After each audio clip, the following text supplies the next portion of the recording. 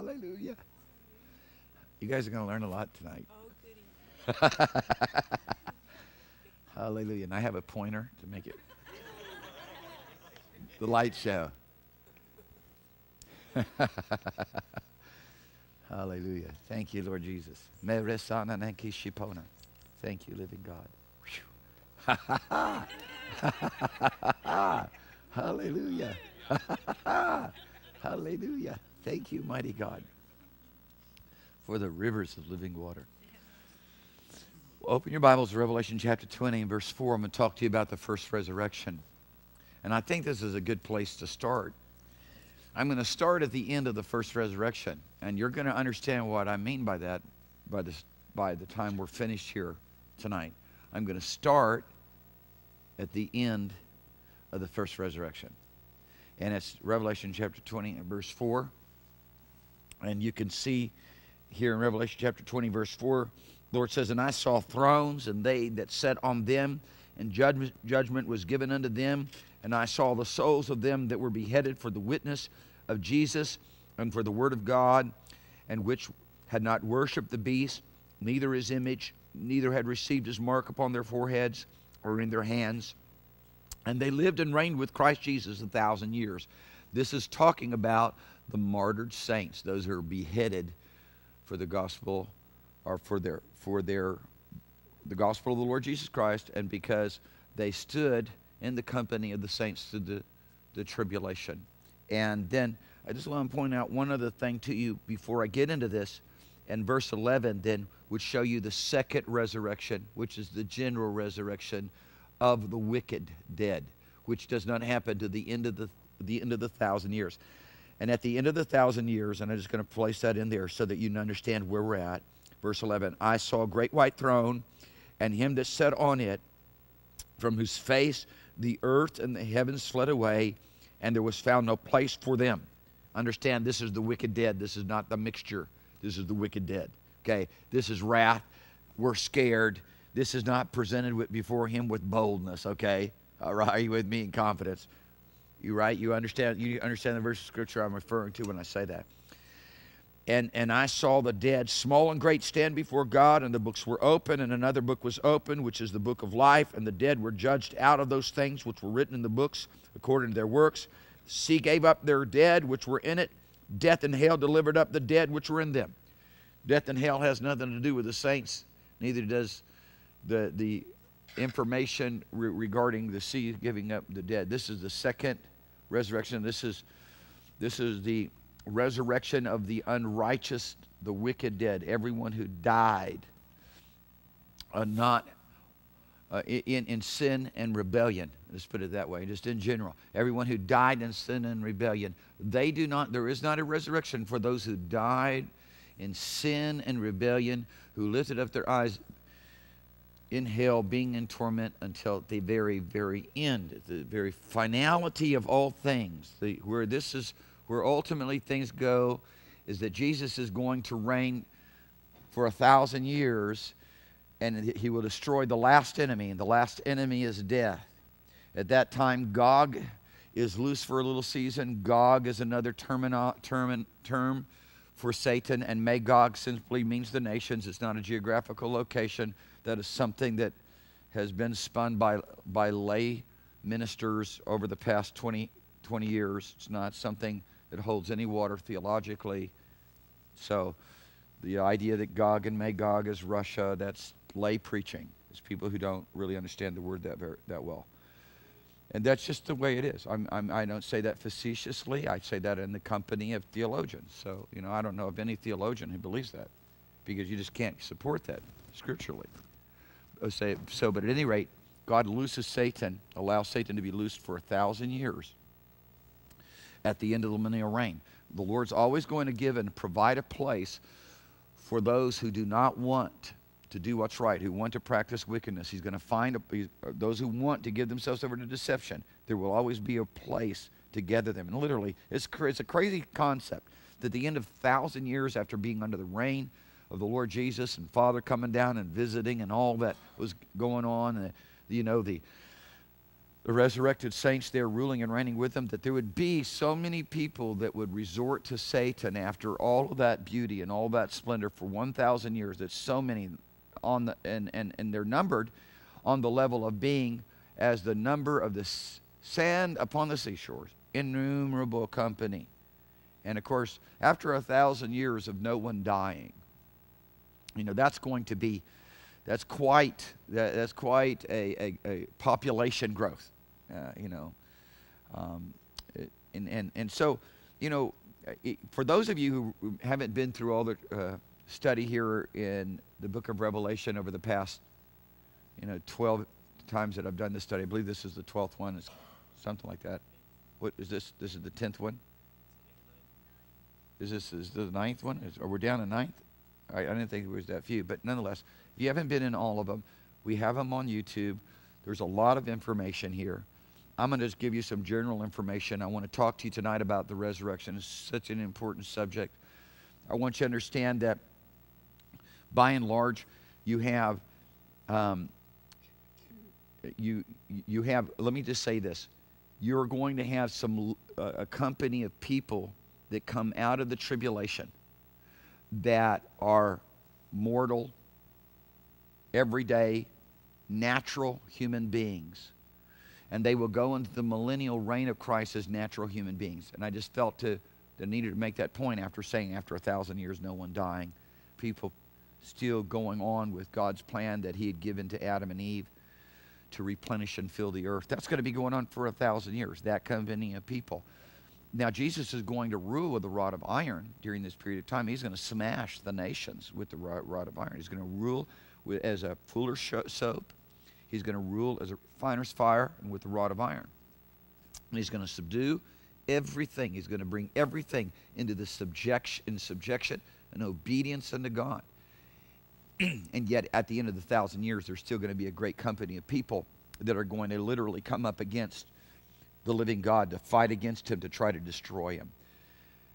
Emphasizing that wherever there is a little bit of sin, it's ultimately going to result in such iniquity and such a rebellion that people will not want anything to do with the author of life. The, little, the littlest, smallest amount of sin will ultimately result in you hating God so much that you want to destroy him, kill him. Pretty radical statement, isn't it? But at the end of the thousand years, you know, and I'm kind of jumping ahead, I'm in Revelation 21 22 now, but at the end of the thousand years, the Lord's going to create a new heaven and a new earth. And it will never, will never be another possibility of sin. it will be purged, wherein dwells only righteousness. It will be purged. The event of, of what Satan did when he tried to exalt his throne above the throne of God that you read about in Isaiah chapter 14, that you read about in Ezekiel chapter 28. That never, never going to happen again. Universe completely purged, sin and rebellion and iniquity, all contained in a place called hell that was created for the devil and his angels because man wasn't around when it was created. So there's many things to say here, but um, what I'm going to do is I just want to jump here into the first resurrection, begin to talk to you about some things I'm going to point out some things for you, and um, and then you know I'll start giving you more established script, some more scriptures to help establish you in it.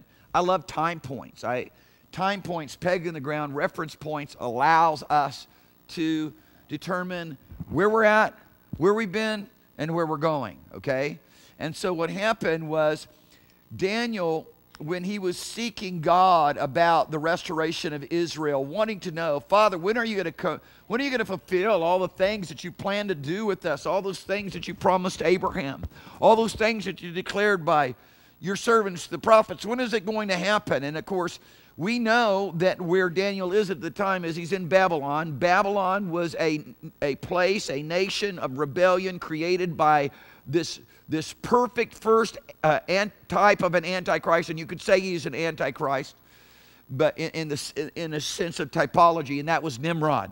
Nimrod led the rebellion as the, as the Assyrian. He's the one, his dad was, his, his dad was Cush, his uncle was Mitzrayim. Mitzrayim means Egypt.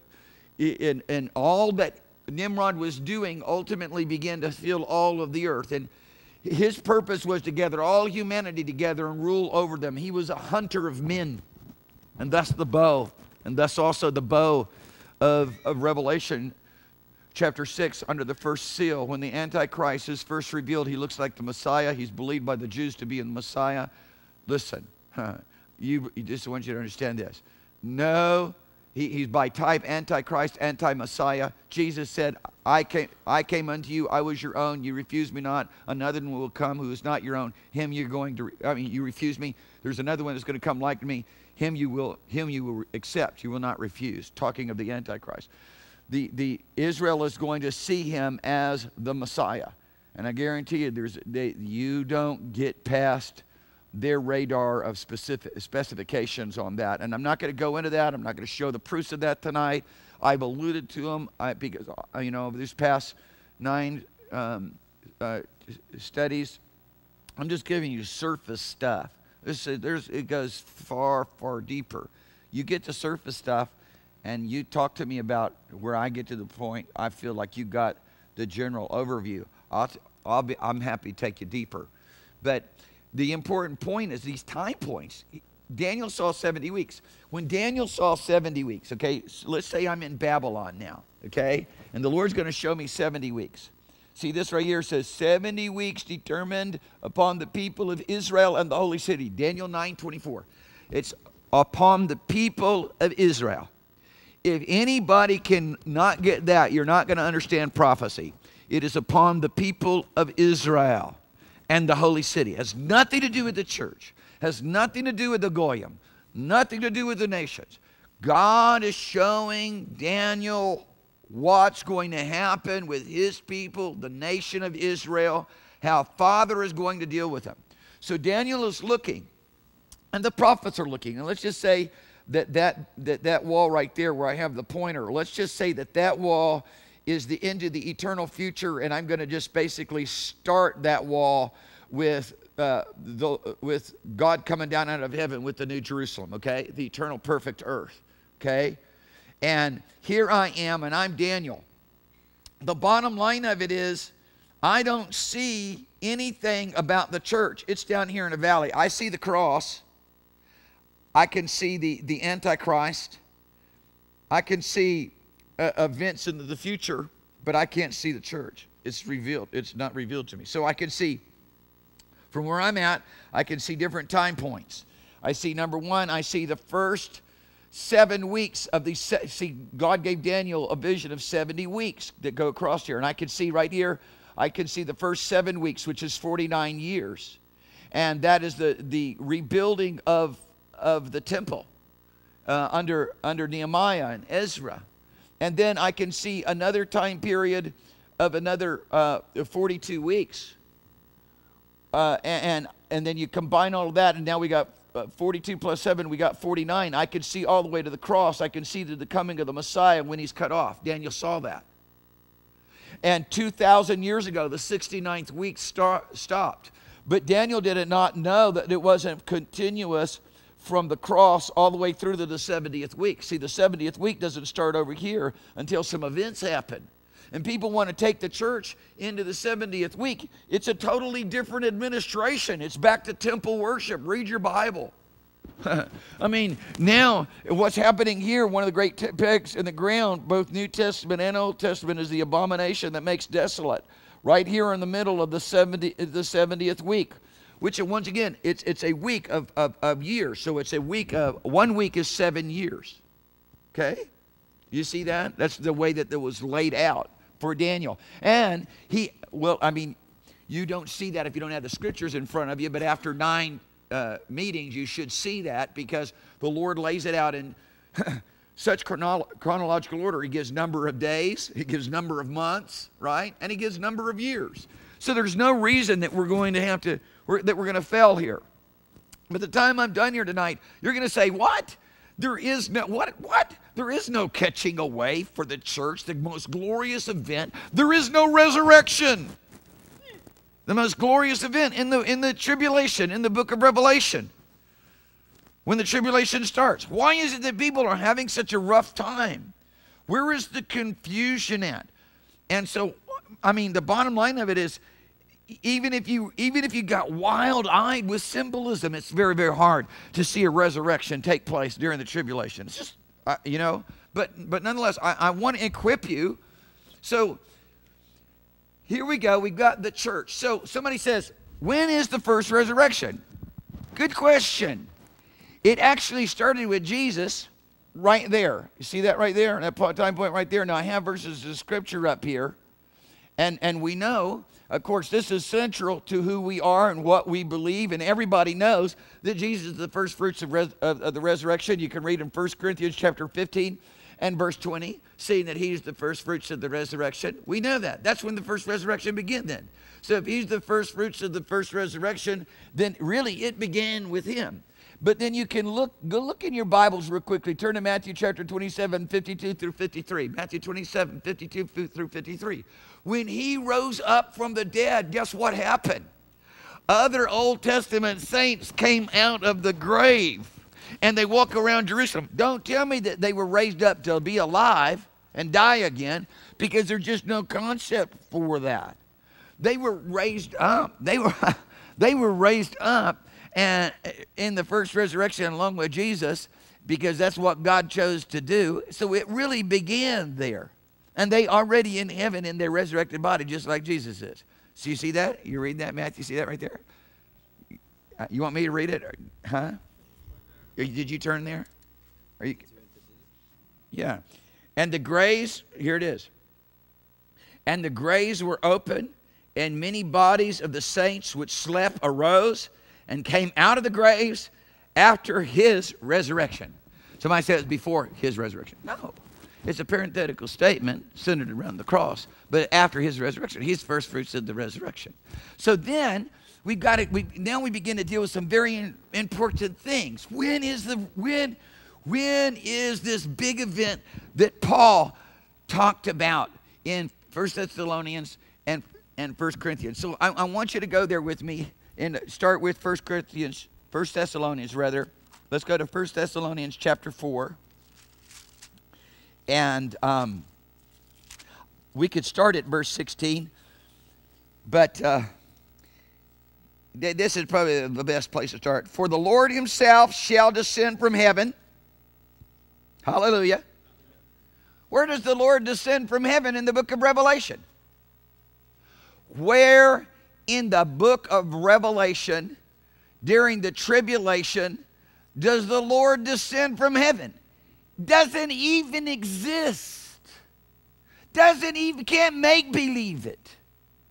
Okay? Can't even make, you're going to tell me that the greatest event that has taken place in the history of, of, of man and, and, and, and, and really in many respects, the, the whole creation of God isn't going to be featured?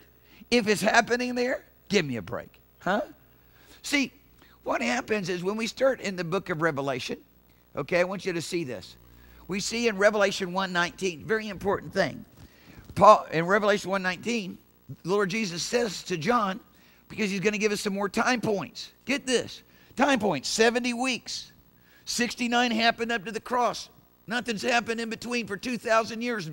The 70th hasn't started.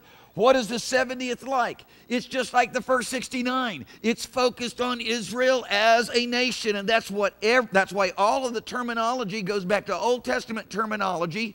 It goes back to uh, Mosaic terminology, temple worship.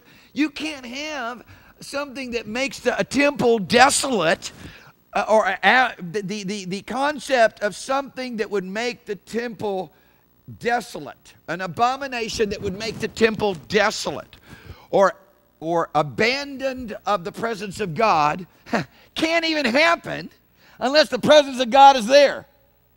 It's temple worship. It's built in troublesome times. Everything focuses on that. It blows your mind. Why? Because that times of the Gentiles has come to an end. It ain't about saving nobody. In fact, when you look at it is the harvest is over. There is no more harvest. And, and, all you have in the all you have in Revelation is a proof of that time and time again. And still they will not repent. They would rather, at the very beginning of the tribulation, they would rather the rocks fall upon them and smash them so that they don't have to look at the, the, the throne of God and the Lamb. You, come on. Somebody said our greatest hour. You tell me our greatest hour is in when God's pouring out his wrath upon the heathen. I'm telling you not. It's not. Because what's actually happening while this is going on in the 70th week is the only time period where the judgment seat of Christ goes down and the marriage supper of the Lamb takes place, and then Jesus comes back with those who are the resurrected saints. At the end, right there, you can see it, Revelation chapter 19. Then he comes back, he returns. He will come with 10,000 of his saints to execute judgment upon all the ungodly, which the ungodly deed of ungodly, ungodly have, uh, have committed. For all their ungodly deeds which the ungodly have committed. So, I, I, I, want you, I want you to grasp these timelines. I want, you to, I want you to think about 70 weeks. What's that about? That timeline is so crucial. Daniel is so thorough in his interpretation. God makes every symbolism known to him. There's no reason for anybody to be confused. Then, then we have the time point of the abomination that makes dis- desolate, which is in the middle of the week. I'm going to tell you right now. Can anybody know the day or the hour in which the Lord will return? Huh? Come on, answer me. Participate. If you don't know, you don't know. You can say, I don't know. If Christ Jesus were not to come sometime before the abomination makes desolate, I can tell you the very day is coming. We have, we have the numbers of the days, the very days. So it's by, by virtue of that, it's already eliminated. You can't have some, some coming of the Lord Jesus Christ after the, the, the abomination that makes desolate. Because we have the very number of days. I've gone through that with you. I've numbered the days with you. Got the number of the months. I can take you out, out to the outside limit of, of what's going to happen, you know, for you know, 30 to 60 days after that, even. Okay? Are you with me? I want you to grab these time points. If I can get you these time points, if you can memorize these time points, if you can have reference points, then you're going to know where you're at at any point. I got, a I got a peg in the ground. I know where I've come from. I know where I'm at. I know where I'm going. I can interpolate or extrapolate, either one. No problems. Now, looky here. Looky here. So in Revelation 1:19, he said, "Write the things which are." So he showed him, or rather, what, write the things which you see, which you see. You see that? Revelation 1:19. Write things which you see. That's Revelation chapter 1. He said, "Write the things which are." That's the church. That's been 2,000 years. Write the things which are. That's been 2,000 years. It's to address the seven church, seven churches. And then he says, write the things which shall be hereafter. It doesn't stand out as much to people if you're reading English, but when you're reading the Greek and you see, write the things which shall be hereafter, the, the phrase is meta tauta. And then when you hit Revelation chapter 4, verse 1, it says meta tauta. It sets for us the very point of this is what is hereafter. Hereafter what? Hereafter the church.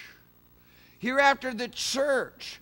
There is a hinderer of iniquity, the man of sin, the Antichrist, the anti Messiah, the false Messiah, which, by the way, the Jews are going to recognize as the Messiah until, until he makes the abomination inside the temple. Then they're going to realize he's the false Messiah. But he's going to fool them for a while. He's going to look like a man of peace. Even, even today, scholars look at him with a, on a white horse under the first seal with a bow, Nimrod's bow in his hand, and think he's the Messiah. Jesus is not coming with no bow. He don't have a bow. He slay the wicked with the sword of his mouth. Okay? He's the false Messiah. It's hard to recognize.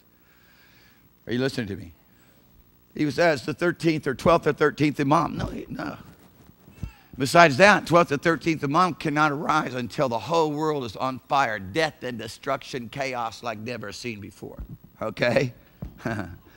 so, you know, and it just doesn't even fit, and I can tell you why. Somebody said, oh, well, you know, it, aren't, aren't we talking, when we talk about Babylon and we talk about all these things, are we talking about I had a person ask me today, when we're talking about Babylon, spiritual and literal, aren't we talking about the Roman Catholic Church? I, I said, well, why would you even say that? Well, it sits upon seven mountains. What are you talking about? Well, there's seven hills in Rome. You got to be kidding me. It's not even seven, it's actually eight. Go count them up again. And besides that, Rome, the, Lord says that seven mountains are seven kings, which are seven kingdoms, and we already know which the, the, who they are because Daniel's already revealed them to us. Now we come in the book of Revelation, we see them again, and and somebody said, "Well, it can't it be Islam?" No, it can't be Islam because Islam, Mohammedanism wasn't around even in the Roman Empire. And this whore, this great whore, has to be associated with every one of those kingdoms, starting with Egypt. Why Egypt? Because Egypt's the first one to oppress Israel, then Assyria, then Babylon, then Media Persia, then Greece, then Rome. Then the seventh that shall arise after Rome, which will shall arise right there at the end of the church age, which, which shall be led, as I've told you already, shall be led by the anti-Messiah, the, the, the false Messiah the, the one who's everything contrary to the Messiah, the little horn, where we know where he comes from. And as I proved it, and I'll give you more proofs if you want them, he's an Assyrian. He's a Jewish Assyrian. And he can be traced to have been born in Bethlehem of Judea. He's going to have all every type. He's going to pass every examination of the priest. And I'm not going to go into all those details tonight, but right there is where he's going to start. And he's going to make war and he's going to make war with Turkey, and he's going to make war with Greece, and he's going to make war with Egypt. And it's not just the territories that we would define as Greece, it's the Grecian Empire, the first Grecian Empire under Philip. That's all of Macedonia. Okay? It's not just the Egypt, Egyptian empires we would see Egypt now.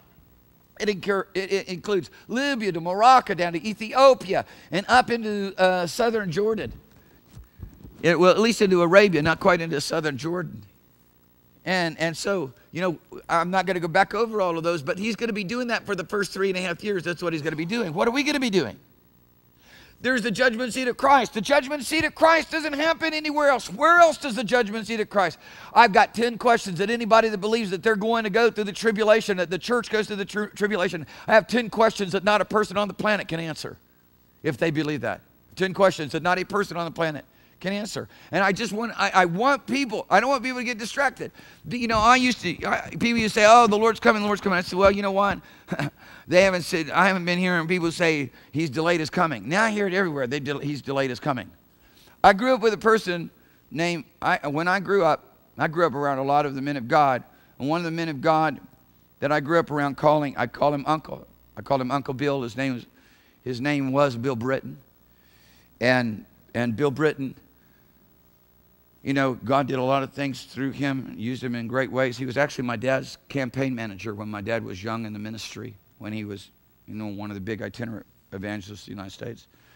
And um, at any rate, he had a revelation one day, and his revelation was on the manifested sons in the concept of the manifested sons, what there would be the manifested sons of God, the church would come to a place of great glory and grace as the manifested sons of God during the tribulation. He's the first one that really began to advance in a radical way to uh, the America, through United States of America and Europe, that the church would go through the tribulation. Before that, you rarely ever hear such a thing. And so all these things are close and very uh, close to, to my life, and, and I've been impacted by a lot of the various different things. So it's not like, you know, it's not like, you know, people come to me and they say, well, we, you know, the church is going to go through tribulation. I'm not, I'm not going to get all irate.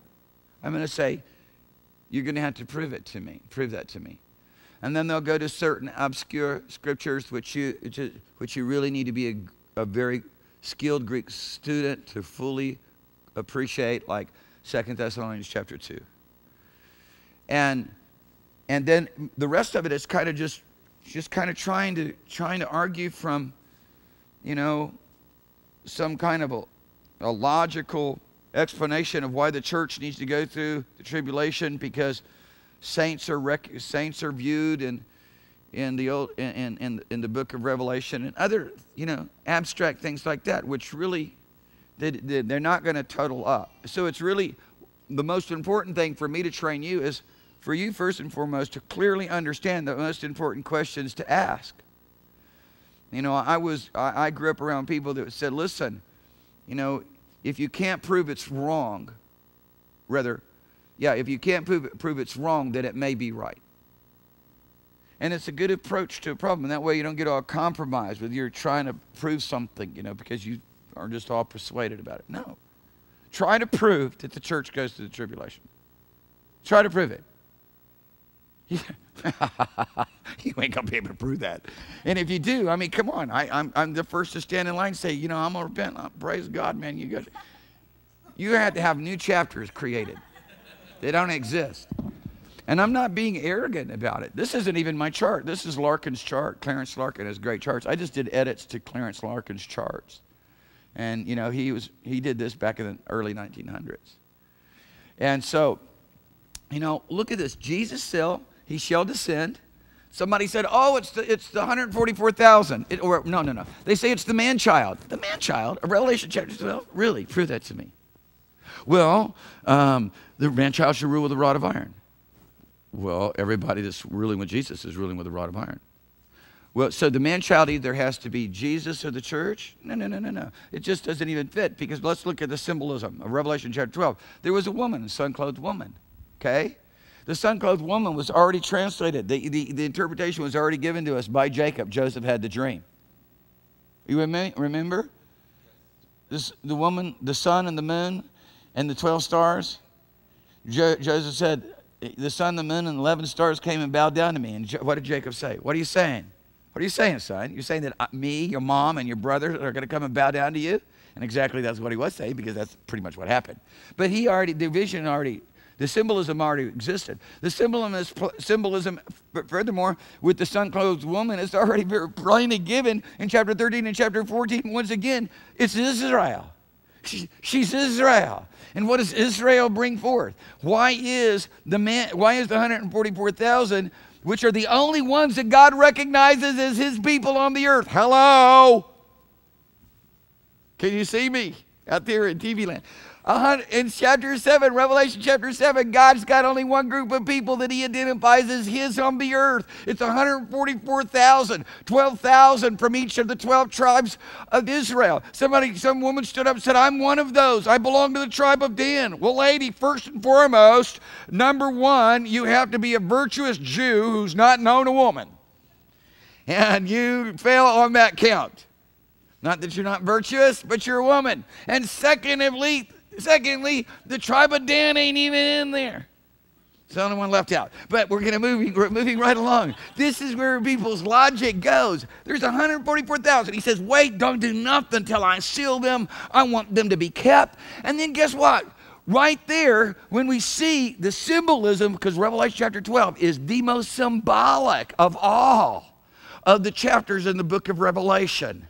The dragon opens up his mouth to pour out a flood to destroy the woman and the man child. The earth opens up, swallows up the swallows up the flood, you know, and then you know the beautiful symbolism there. The next thing, what do you see? 144,000. Where are they? In heaven. They they they raptured. They're caught away. Somebody said the rapture is not in the Bible. It's ridiculous. It is. You know, there's several ways to translate the Greek word. One of them is rapture. And somebody said, well, it's more perfectly translated catching white. It doesn't matter. It means the same thing. and so when somebody comes out, oh, rapture is done in the church, oh, they're polyparroting some, somebody who, who just really didn't know anything. They read it out of a book. They didn't study it out for themselves. How many people really study out for themselves what they believe? Very few people. All they do is preach whatever somebody else said. And I don't want you preaching what I said. I want you, all I want to do is encourage you to go study and find out for yourself. God in this last date intended to everybody have a Bible in their hand. Obviously. I mean, we got stacks of Bibles. Oh, we can have Bibles on our computer, on our iPhone, on the iPad. I got, we got Bibles everywhere. I got all kinds of Bibles. I got Bibles in Latin, Bibles in Hebrew and Greek. I got Bibles in Aramaic. I mean, you know, Syriac. Spanish Bibles. I got Papua New Guinea Bible Pidgin, New Guinea Pidgin Bibles. I got Nepali Bibles. How many Bibles you got? Everybody go study your Bible. Well, what, what translation? I don't care. Doesn't even matter.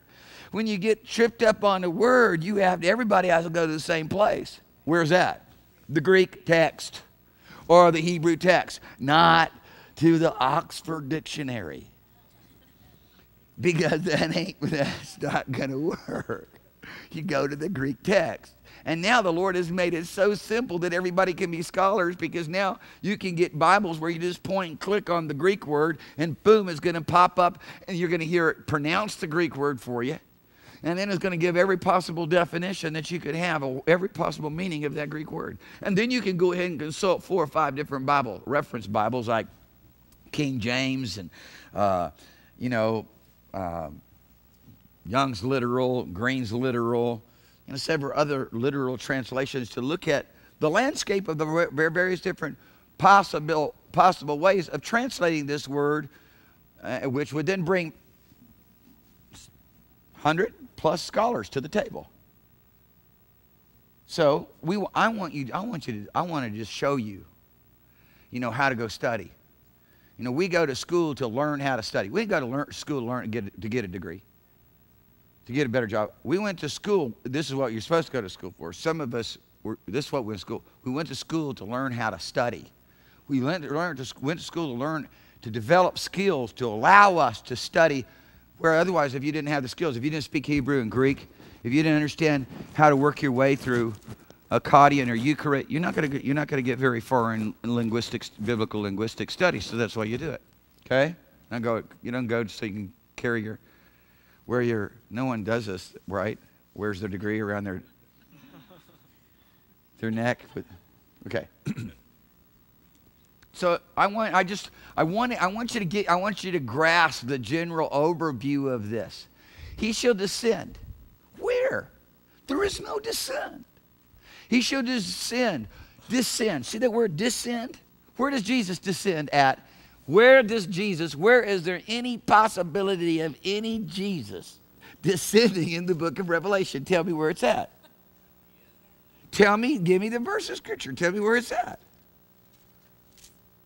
Show me, tell me where it's at. Come on, Pokestokes, you can do that quickly. Just give me the chapter. No, you can't give me the chapter? Have you guys been going home and doing your homework? That's why you haven't had any questions to ask me at the end of the meeting.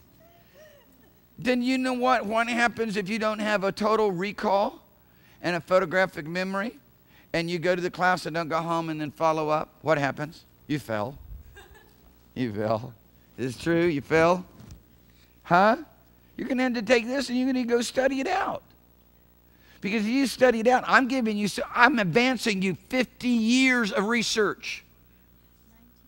I'm, hand, I'm handing you maybe more than that, where you would have to spend 50 years, eight, 10 hours a day to get what we get spoon feeding you. To laying it out. Now all you got to do is go sort it out and search it out. And now you get to read, now you get to go read the verse of scripture where it allows you to wait. Wait a minute. I understand the 70 weeks. I understand the symbolism of Daniel. I understand how the symbolism of Daniel relates to the symbolism of the book of Revelation. Ah, I understand that Jesus made the, uh, the abomination that makes desolate such a, a, a, very important key uh, point. I understand that Daniel did as well. I understand the value of that in the in the in, in the interpretation of Scripture. So it's it's Revelation chapter 19, isn't it? Yeah, verse 14. What is in it? When does that happen? After the marriage supper. After the marriage supper. So if Jesus is coming then, you missed out. Sorry, it was great. It was great. And when, but you weren't here. But the bottom line of it is, does Jesus return into heaven with his saints? He comes down, he fights against the battle. He fights the battle of Armageddon, which you read about in Revelation chapter 19, 20. Does he go back? Does we all, well, finished up? Ha, we're done. Woo! Of course, we don't do anything. We just watch. He does it all. Huh? He doesn't return. He, he comes and he stays. He stays. Hello. He's here. He's not going anywhere. He's setting up the kingdom. We're here. Praise God. We're moving in. Lock, stock, and barrel. What, Jesus is going to do all the battle. We're carrying stuff, so to speak. We're moving in. We're moving in. Of course, you know, at that moment in time, there is no veil between the two regions, the two realms. Huh? We can go back and forth, I'm sure. Although the Lord doesn't actually reveal it and tell it to us, I'm sure we can go back and forth between the thrones that we have ruling and reigning with Christ Jesus on this earth and the New Jerusalem that's in the heavenly realm. Ooh, my goodness. I cannot wait. It is a culture that you cannot even begin to imagine. And it is so beautiful. It goes beyond any culture, any, any great uh, period of time in the history of humanity, times the eternal glory of God's divine presence in heaven. I'm a, I, I, I pray that you'll see heaven, you long for heaven. You'll see the realms of God, the culture of the kingdom of God. You'll fall in love with the culture of the kingdom of God. You won't be swayed by all of the lies and deceptions of the powers of darkness that would try to, to draw you into the kingdoms of this world. You know, if you walk, follow me on Facebook, you saw this morning that, you know, I, I put on Facebook that the, the, that there, the smoke of their destruction shall ascend up before the throne of God forever. Because the Lord is going to cast into hell, into a place of eternal torment, those who receive or who participate in the, uh, the satanic worship. Satan's been wanting to be worshiped for a long time. And he gets worshiped right now. People think it was just about the mark of the beast. There's going to be a real mark but people take it every day. People, I see people all over the place tattooed with the spirit of the world, under the spirit of disobedience. Huh? They're already tattooed. They're tattooed in the heart. They're tattooed in the spirit. So, I mean, I, you know, I want people to grasp heaven. I want people to grasp the events that are taking place so that you living in expectation. We're supposed to be those who are watching for the return of our Lord. Somebody said to me too recently, they said, Don't you think it's going to be quite a time yet before the Lord Jesus comes? I said, Well, from a from a landscape of prophecy, yeah, I would say that that's probably true. But you know what? The Lord told me very clearly. He said, Watch. Be ready because you don't know the hour. You don't know the time. I'm as one going on a far journey. and I'm going to return at a time, you know, that no one knows. So be, be faithful servants, always watching for when your Lord should return. Because you don't know whether he's going to come in the morning or at the noon, uh, right? Or in the evening hour. Uh, you're not doing that in the tribulation. There's God identifies 144,000 that are His, and that's it. And they 12,000 from the 12 tribes of Israel. Guess what? We're in the 70th week. What's that about? It's about who? It's about Israel and the holy city. 70 weeks are determined upon Israel and the holy city. See that right there? That shows the time period of the time of the Gentiles. I disagree with with Larkin on putting the time of the Gentiles right there at the end. The time of the Gentiles, as far as I'm concerned, ends right there, and I have proofs for it. I'm not going to bicker with them on it. I understand why he does that. I understand why Dake does it. I understand why other scholars do it. I end the time of the Gentiles right there. Then I've got several reasons for why I do that and proofs for why I do it. Because, uh, you know, they're just simply, they're, it's, it's, not about, it's not about Gentiles being saved. I don't see the gospel going forth to the nations. I see the nations in total, total as total apostates, wanting nothing to do with God. There is no more harvest. It is the harvest is past, and now God the, ends the age the age of the church. The age of the church is removed. The age of grace is removed. It is removed. It is removed. The man of sin cannot be revealed until the hinderer of iniquity, which Paul is very clearly referring to the church, is removed. He, the, the, the one that holds back. People say, oh, we're going to get in there, man, we're going to be the manifested sons, and we're going to do some serious damage. Hold up. Satan comes down out of heaven to be worshiped, and God gives him power over the saints. And the only blessed is blessing is blessed are you who die in the Lord. and you're going to have to get killed to be a part of the first resurrection. There's two companies, there's two companies of people now that come out of the tribulation. The two companies of people that come out of the tribulation are those who are martyred for the for the Lord Jesus Christ, which then we see them go up right here. See that other arrow I got? And that's where the first, that's the end of the first resurrection. And that's what I just opened up reading right there in Revelation chapter 20 and verse 4. It has nothing to do with the church. Go back and read it again. It has nothing to do with the church age, has nothing to do with the dead in Christ. Now I'm gonna finish. So I'm um, say that. I'm gonna say it again to you. I'm gonna say it a couple of times to you, so that you know that Revelation 24 has nothing to do with any resurrection of the righteous How many? Re- Where did the righteous begin? Where did the righteous begin? Abel. Adam's not even named. It begins with Abel. From the blood of Abel, the righteous Abel. right? That's where it begins. All the Old Testament saints are part of the New Jerusalem. They're going to be part of the resurrection. So that's what so this is what Paul says here. Look here with me back in 1 Thessalonians chapter 4. He said, For this I say unto you by the word of the Lord, that ye which are alive and remain unto the coming of the Lord shall not prevent them which are asleep. Who's asleep? That's everybody's already dead. Grandpa all the way back to great, great, great, great, great, great, great, great, great aunt. You know, Adam. Uh, um, Adam or Abel, right? Are you with me? There it is. See that? For the Lord himself shall descend uh, right after the tribulation. And the Lord shall descend from heaven with a shout, with the voice of an archangel, with the trump of God, and the dead in Christ shall rise first. Well, where's that in the book of tribulation? Uh, uh, in the, in the, in the book of Revelation, during the tribulation? Doesn't exist. Somebody said, well, you know, in the seven trumps, the seven trumpets, they're cursings. They're the outpouring of God's wrath. They're the woes. And the only thing that you can see during the trumpets, the only event that you can see happen during the trumpets is what? Of someone getting snatched away. Is what? Come on, folks. Don't be afraid. The 144,000 snatched up. That's it. And somebody said, well, that's the whole church. But then you and Jehovah's Witness.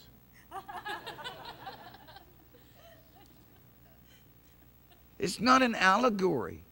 It's virtuous men who have not known women. I mean, you can't get more specific. Remember, it's back to this whole thing. See, what happens is if you look at Daniel, Daniel chapter 12, verse 2, what did Daniel see? He, it's like he saw it all right together, didn't he? He saw that there would that everyone who was who laid in the dust, they should be raised from the dead, some to the resurrection of life, some to the resurrection of damnation. Huh? You see that? He's got like got them sandwiched together, like they were right together. But we get more information. We got the book of Revelation. Ha! We got, ha ha ha, look at that. Hey? Eh? The Lord shows us, wait a minute, there's a thousand years apart from each other. Wow, that's, that's taking a verse of Scripture and bringing a whole lot more detail in it. And so prophecy builds that way. There's insight. I, you, what will happen if you keep, keep I'm getting a little drunk. If you keep reading through the Word of God, you'll discover how that you how that God will integrate the past and the present and the future. And you'll begin to get real comfortable with the prophetic style, and then you can pull out, oh, they're talking about Jesus right there. Oh, they're talking about the, you know, this event or that event. So here we are. Is I want you to go and a- answer this question. During the trumpet judgments, this is not a trumpet judgment. This is a this is not a trumpet. This is Jesus. Huh? With the voice of an archangel and the sound of, the, of, a, of a trumpet. Is there any place that you can actually legitimately Make this fit in the book of Revelation. And I'm going to give you a clue. You're going to have to try to do it sometime between 12 and 14. Oh, I'll stretch it out to 15. But then I can't stretch it out to 15 because if you stretch it out to 15, then you definitely are in chapter 15. You're definitely in the category of tribulation martyrs. So somebody said, How long is the first resurrection? How long is the first resurrection? Well, it's been about 2,000 years right now. See that line right there? See that red line? Started with Jesus and some of the saints that came out of the grave. Then here's the big one Jesus shall, Jesus shall come with a shout, with the voice of an archangel. And here we are. It says that he shall descend from heaven with a shout, with the voice of an archangel, with the trump of God. Okay? And the dead in Christ shall rise first. When we begin to talk about the catching away, and people say there is no catching away, where they really, really mess up bad is they don't recognize that the catching away is the first resurrection. It's a, it is the bigger part of the first resurrection, and to touch the catching away, you're touching the resurrection, and you better be very careful because there's lots of warnings on that. So this is the event when the dead in Christ shall rise first. When does that happen in the Revel- in the book of Revelation? Uh, it doesn't happen. It doesn't take place. It does not take place. Period. Therefore, it has to take place before the book of Revelation. Before, somehow before the things of chapter 4. Before the meta tauta. Write the things which you have seen. Write the things which are. And write the things which shall be hereafter. If it doesn't, if the resurrection doesn't take place, the big resurrection, what we would call the great resurrection, if the dead in Christ shall, are, not found here, raising up from the dead anywhere, because reality of it is, is the marriage supper of the Lamb happens somewhere in here before Christ returns. So the resurrected saints have to be here in heaven for the judgment seat of Christ, the marriage supper of the Lamb, and then the return of Christ Jesus with all of his resurrected saints. Where is that going to happen? If it isn't in the book of Revelation, if it isn't in chapter 4 to chapter 19, then it, it has to happen before chapter 4. Is it that logical? Is, the, is, is that not something sensible? and reasonable? Why should we wrestle the scripture to our own destruction just because somebody got some grandiose idea? They not living right now, and somehow they're going to live right in the future. Give me a break. You not living. Listen, everybody's got their head down. You know what the kill zone is? The kill zone is if you go into the kill zone, you're going to die. Right? The military defines kill zone. Right? If you go into that area, you're going to get killed. It, the whole of the tribulation is kill zone. Everybody's got their head down. Oh, we're going to be evangelizing. that is funny. The only way you could be is if you got sealed so none of all of the disasters and the demon locusts and all the crazy outpouring of God's wrath against sin and iniquity couldn't touch you. And God's going to get the ones he sealed out of the way before he does the, the, the bowl judgments because, my goodness, it is going to be so intense that who can stand? There's no more mountains. You talk about you talk about earthquakes, you talk about volcanoes, you talk about the most intense things. People in the bowl judgments is going to be so black dark because God's going to demand that every light quit shining on the earth that they will they will chew their tongues off out of pain. Eh? That's why the 144,000 are out of there. I want people to, somebody said, oh, this happened during, you know, there's a lot of people there eh, eh, that, that believe that the, the millennial reign of Christ started in 70 AD. I'm like, you have, that's now the, the, the, the two millennial reign of Christ. Are you kidding me? I mean, if you just listed the disasters that are going to take place just under the seven, the seven seals, six seals, and then the seventh that opens up the 12 the, the, the seven trumpets and the seventh trumpet that opens up the seven bowl judgments, you realize that it's another earth by the end of time. By the end that this is by the end of this event, it's another. It's a, it's the earth isn't the same. There's no more mountains. Every living thing in the in the sea has been killed. All the waters have been dried up are their blood. When did that happen in the past 2,000 years? It didn't happen. Give me a break. Oh, it's symbolism. Symbolism. Oh, it is. Well, then would you please tell me what that symbolism means? And now silence for the space of the rest of their life. Oh, it's a mystery. No, it's not a mystery. Reveal, revelation means to reveal, to unveil the mystery. The mystery is now unveiled. It was a mystery in Daniel 12, too. It's not a mystery here. Huh? It was a mystery it was a mystery by the prophets in Zechariah. It's not a mystery here. It is a mystery in Obadiah. It's not a mystery here. It's a mystery in Ezekiel, not a mystery here. The mystery in Isaiah, not a mystery here. Hmm? Okay? So, the dead in Christ shall rise first, and we which are alive and remain shall be caught up. See this? Can you see that? We. Listen, Paul. And all you guys who are alive then, he's not saying that. We. Paul was in, he believed he was going to be alive at the catching of the way. There's, there's many evidence, there's much evidence for this. We, we're going up. He didn't say, after we get finished with the mark of the beast and going through all of that, and we're done with that business, and the Antichrist is finished, everybody watch out, the Antichrist is about to come. I think he's Nero. Paul didn't say any of those things. He wasn't ridiculous with these things as we are.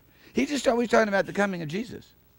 He didn't show a block between the coming of Jesus and, and, and going through the tribulation. I'm glad because I don't want to go through the tribulation. Are you a coward? Say what you will. Say what you will.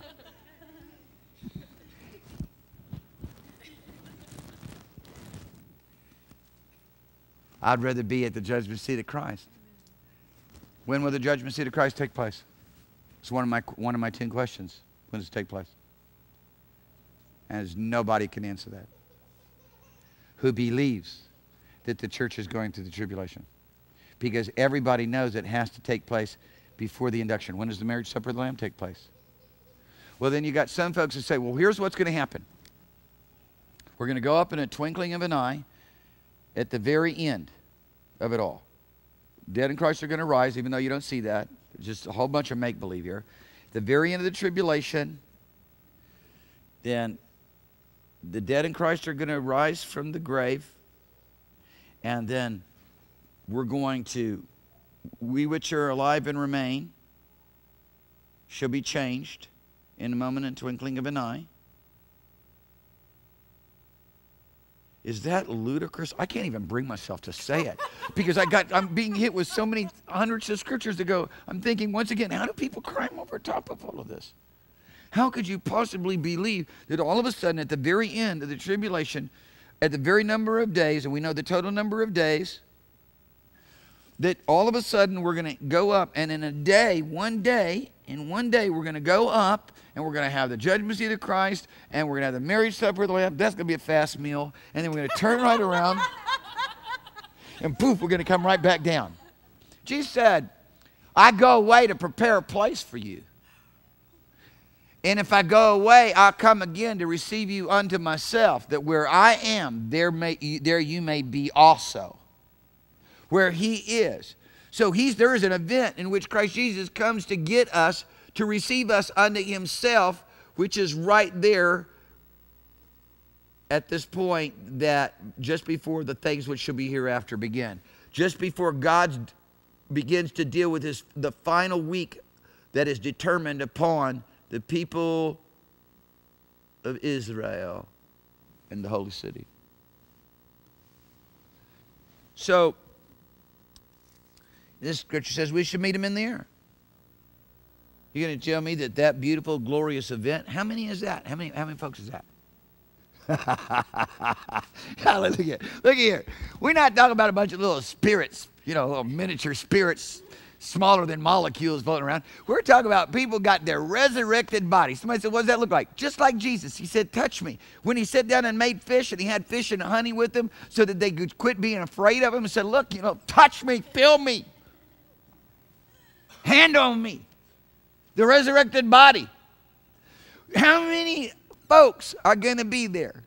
The dead in Christ shall rise first, and we which are alive and remain. Come on, that's got to be a great company of people. It is. It's more than anyone can number that have come out of great tribulation and have made their garments white in the blood of the, the Lamb, which is one, the, one of the chief companies that you see at the very beginning, already in heaven. 24 elders standing there in heaven, clearly the representative of all saints the, the, uh, the great innumerable company of saints have made, washed their blood, have washed their garments in the blood of Jesus, standing there with the victory symbol of the palm branch, the, the only other company. The martyrs cannot, they have to stay under the altar. They're not seen until the parenthetical statement of, of, of, of Revelation chapter 15. And then they're not fully brought into view until Revelation chapter 20, verse 4. Revelation 20, verse 4. Think about it. I want you to go and think about it. I want you to go make yourself some timelines. I want you to wrestle with this. Say, Pastor, please. You already got a street in the Bible an hour a day. Why do you think time grows on trees? We got things to do. We got, we got fish to fry. We know that you're hard and relentless man, reaping where you have not sown, gathering where you've not laid up. We had other business to take care of, other things important, so we took that which is yours and we wrapped it in a napkin and we held it here in the earth so that you may have that which is yours when you return. Or say, you wicked servant. I'm not letting anybody under my watch be some wicked servant. Huh? You may just want to sit around and laugh and feel good. I'm going to tell you, get to work.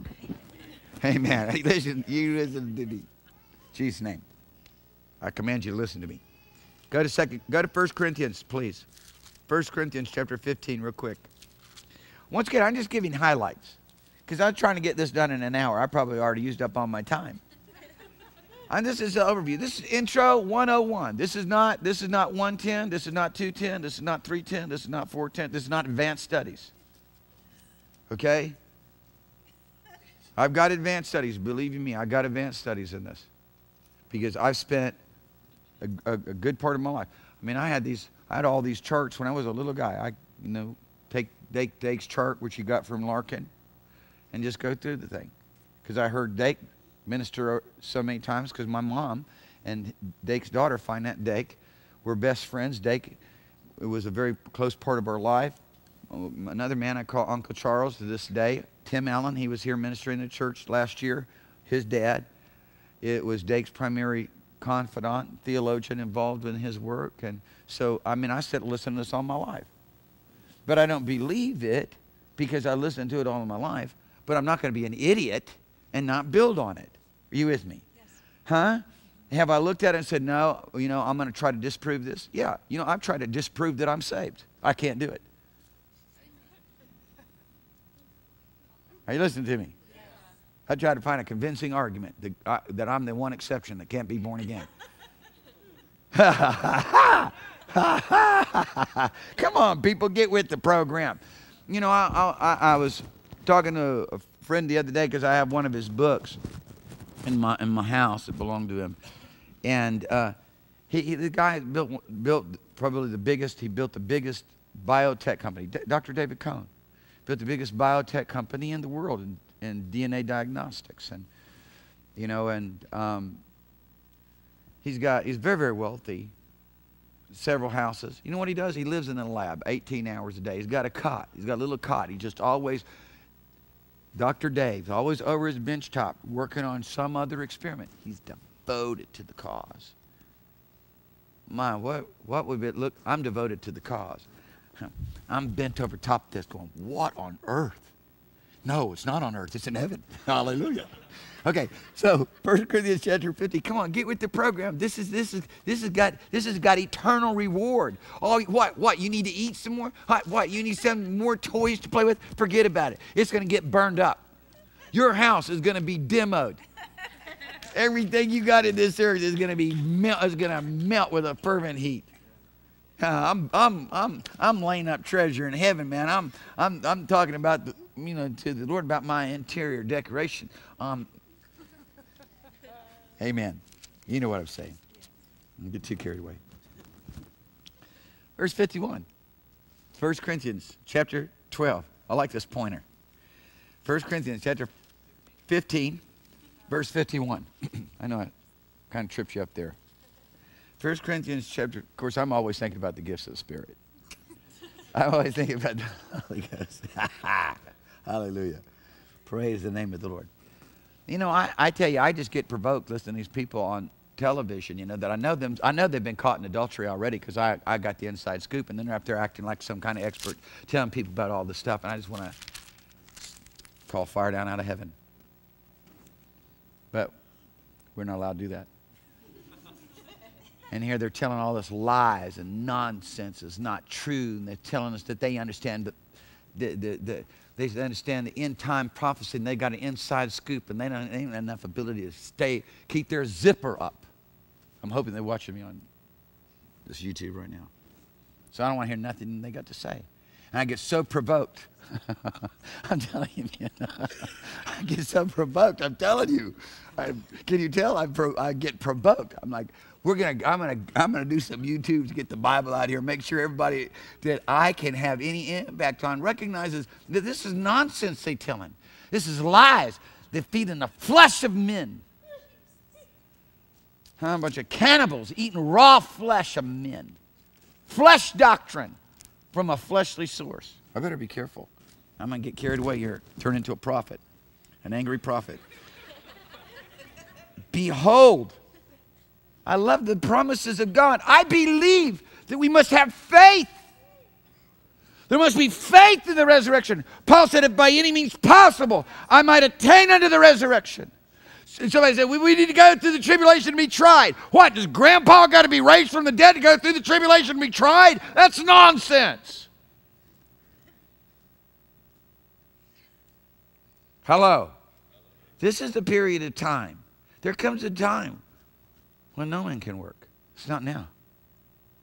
The tribulation is a time when no man can work. And there's supernatural, miraculous interaction going on with one company of people in the book of Revelation from Revelation 4 to 19, and that is Israel. And that's it. That's it. And the church is absent, absolutely absent, not mentioned. Absent. And so people have to just deal with the reality of it. Because, and, and, the more important thing, I don't see why people won't have faith to go through the tribulation. What on earth is wrong with your head? You want to be tortured? You want to incur the wrath of God when the Lord said, made promise after promise after promise that He would keep us from His wrath? Isaiah 26 said so. He would keep us from His wrath. That there would be that there would be a, a, gathering unto Him before his wrath was poured out. Even Isaiah declared that. Why do people? I mean, I want you to have faith in the resurrection. I want you to have faith in Balsta Karane, Bolus Perenisi, being counted worthy to stand before the Son of Man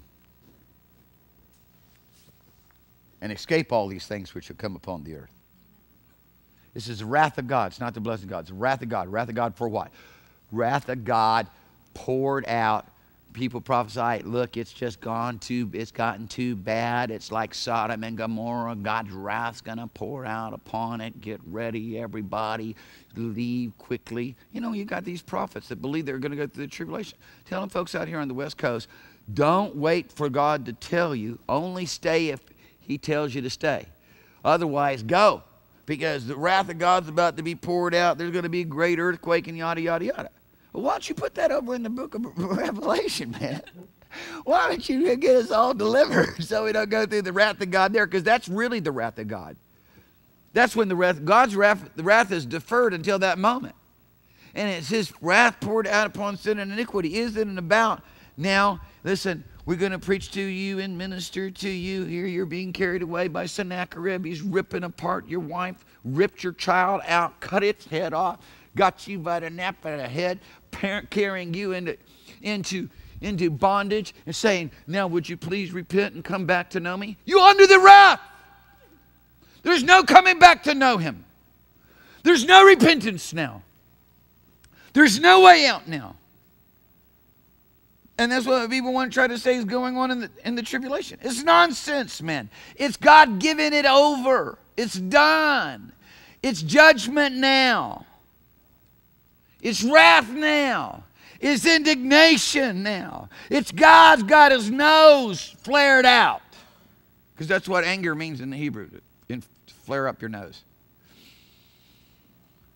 You done. Father, it's a good thing that He is long suffering.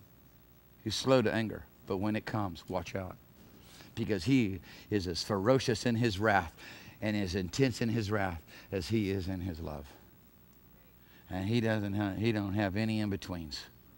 Hallelujah. It's going to be full-blown love or it's full-blown wrath. That's who He is. Read some more.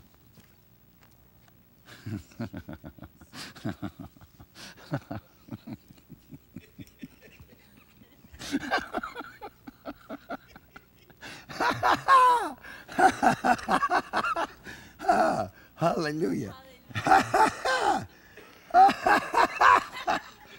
There's no intercessor. Oh, every all the water's blood, and everybody's going, praise God. you make them drink blood, Papa. Make them drink blood. They killed your servants. Now make them drink the blood that they poured out. No intercession. Oh, Lord, have mercy. No, Lord, have mercy. okay. Jesus. Hallelujah. I'm going to be excited the whole time. Whole time of tribulation, I'm going to be eating. I'm going to be eating much. Uh, I'm to have my, I'm to get my rewards first because the Lord's going to get that out of the way so we won't have stomach ache. You know, you can't sit down and eat and enjoy it if there's, if there's pending, you know, judgment coming down, problems. Going to, Lord's going to get it all out of the way. We all going to know where we're at. We're going to be all thankful that we're included. Then we're going to sit down and we're going to have the marriage supper. We're going to be married to Him. Whew. Just try to think about what that means. And then we're going to judge angels and men for all, for all eternity. Amazing. Amazing. Behold, I show you a mystery. You shall not all die or sleep. It's one of the ways to refer to death. It's not soul sleep, body sleep, nothing else. It's just it's another way to refer to death. You should not all die or sleep, but you should be changed. In a moment, in a twinkling of an eye, at the last trump, for the trumps, trumpet shall sound, and the dead shall be raised incorruptible, and we shall be changed. Now understand, Paul took his message to the church at Corinth, which was earlier on. He expounded, same author he expounded it in later years to the church at Thessalonica. And he made it more specifically clear that this trumpet was the Lord descending with the voice of an archangel, Christ Jesus coming himself, coming to receive us unto himself, as he promised that where he is, we may be with him also. I hope that that isn't really bending your mind to be able to put all that together. I hope that makes real plain and simple sense. I know if you were like counting on going through the tribulation, I'm really, you know, I'm, I'm raining on your parade, man. but it ain't going to be no parade. It's just not going to be a parade. Now's the time. Now's the time to live big for God. Now we got. Now we can. We can step in. We can step into all the fullness of His glory right now. Right now. Right now. You have to get a doctrine. You have to get a doctrine of the manifested sons because this is built on the doctrine of the manifested sons. I know. Because I know who built the doctrine personally. You got to believe that all the fullness of the manifest power of the Lord Jesus Christ cannot be expressed in the midst of the church until the tribulation. But yet, you still, after having believed that, you still have no way to do that unless now you marry British Israelism with it and make us all different members of uh, a tribe. But then you're going to have to spiritualize 12,000 because the rest of you are going to be left out because I'm certainly included. And you're going to get 12,000 people like that real quick, right? And so, and then that means there's only 144,000 unless you're going to make that somehow symbolic. And then there's no end to it. Then let's just make everything else symbolic too. And we're in heaven right now.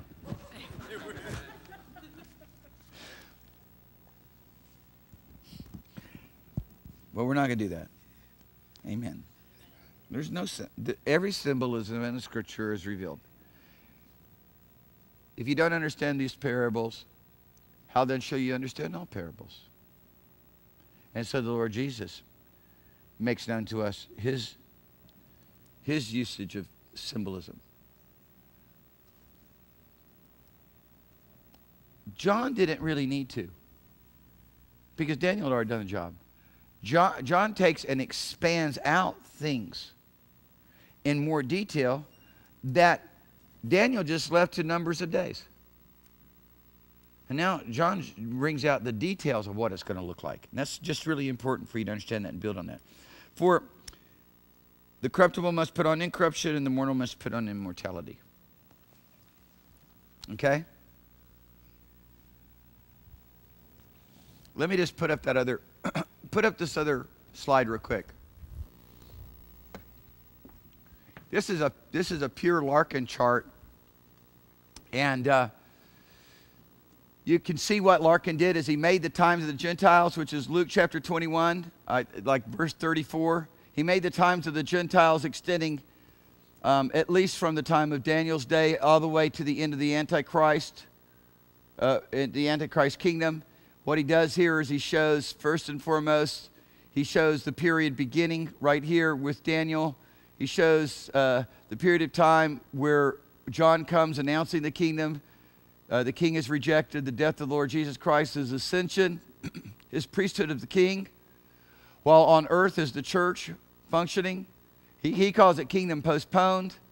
I understand why you say that, but I, I don't really look at it as kingdom postponed, but it is kingdom postponed in view of this, the millennial reign of Christ. And, and um, then he shows here at the end of uh, the priesthood of the king, he shows the return of the king with the saints. And other, other charts that you would see him and other theologians contemporary with him, he would put right here the judgment seat of Christ. Christ, he'd put the marriage supper of the Lamb, and immediately the return of all resurrected saints, because this is it. Here now we come to set up the kingdom. And um, I'm sorry, I, am pointing over here talking about this. So it is, it's actually here. So here, here, here's, here's the king coming receive his church in the air. He doesn't come to the earth.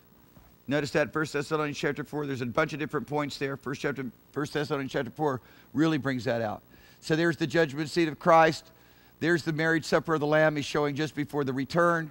The Lord Jesus comes with ten thousands of his saints to execute judgment. And of course, ten thousands of his saints, literally, literally it's, it's uh, thousands and thousands. It's myriads and myriads. So it's, it's, that's huge number, okay? He comes with myriads and myriads of his saints to execute judgment upon all the ungodly for the ungodly deeds which they've ungodly committed. That's the battle of Armageddon, the destruction of the kingdoms which goes harkens back to Daniel's vision, which we've been over and over again. And at this advent, at the destruction of the Antichrist uh, armies, um, of course, which you know Satan right Satan is cast down right here at the middle, and Satan becomes uh, a big part of this, more than what people even teach or talk about, which I've alluded to in some of the studies, but haven't gone into a lot of depth or detail on it. Happy to do that in the future with you. And um, the, the most important things that you've got to begin to, to, to address, and I'm going to go over them one more time, just in conclusion. Because when he comes, he sets up the eternal kingdom. It's, it's, it, there's no revelation of back and forth. It's just he comes, sets up the kingdom. We're ruling and reigning with Christ. And um, but what you what you really got to deal with is the most important things that you got to begin to deal with is when does the judgment seat of Christ take place?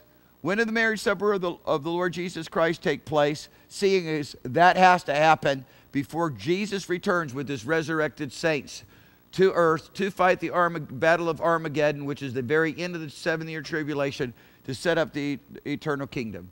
Okay, and back to the first slide.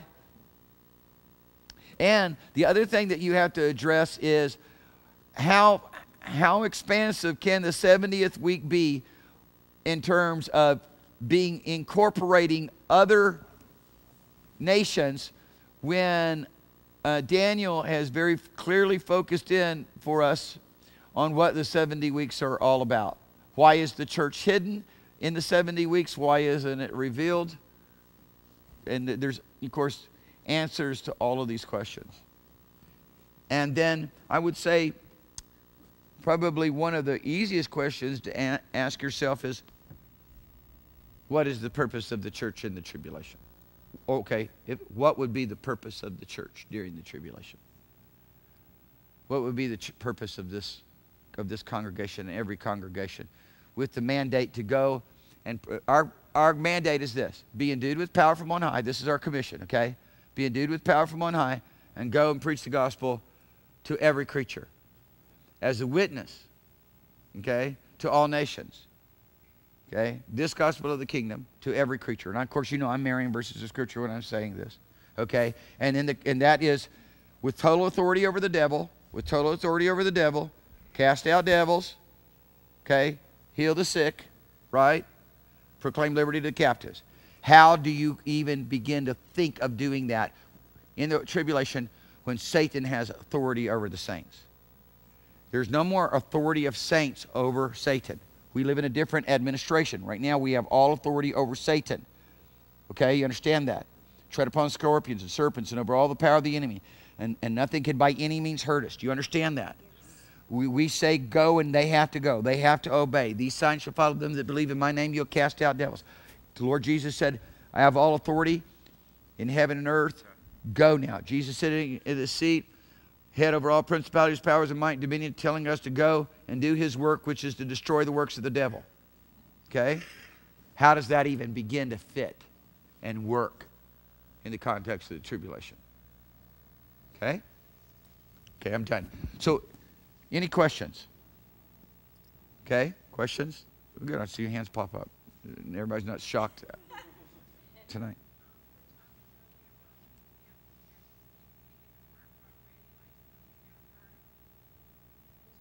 Yeah. It, and of course, I wasn't being literal with that. I was just being, I was just using that in a symbolic, spiritual way. Because he's the God of this world. He's the spirit of disobedience. Go ahead.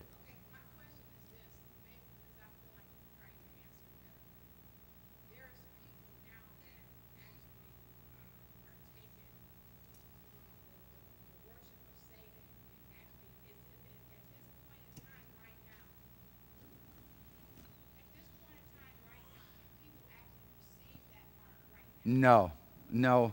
It, let me just say, let me say that the, uh, the rise of the seventh kingdom begins at the beginning of the first part of the seven years. The rise of the seventh kingdom and, and, and its dominion as the seventh kingdom lasts for three and a half years.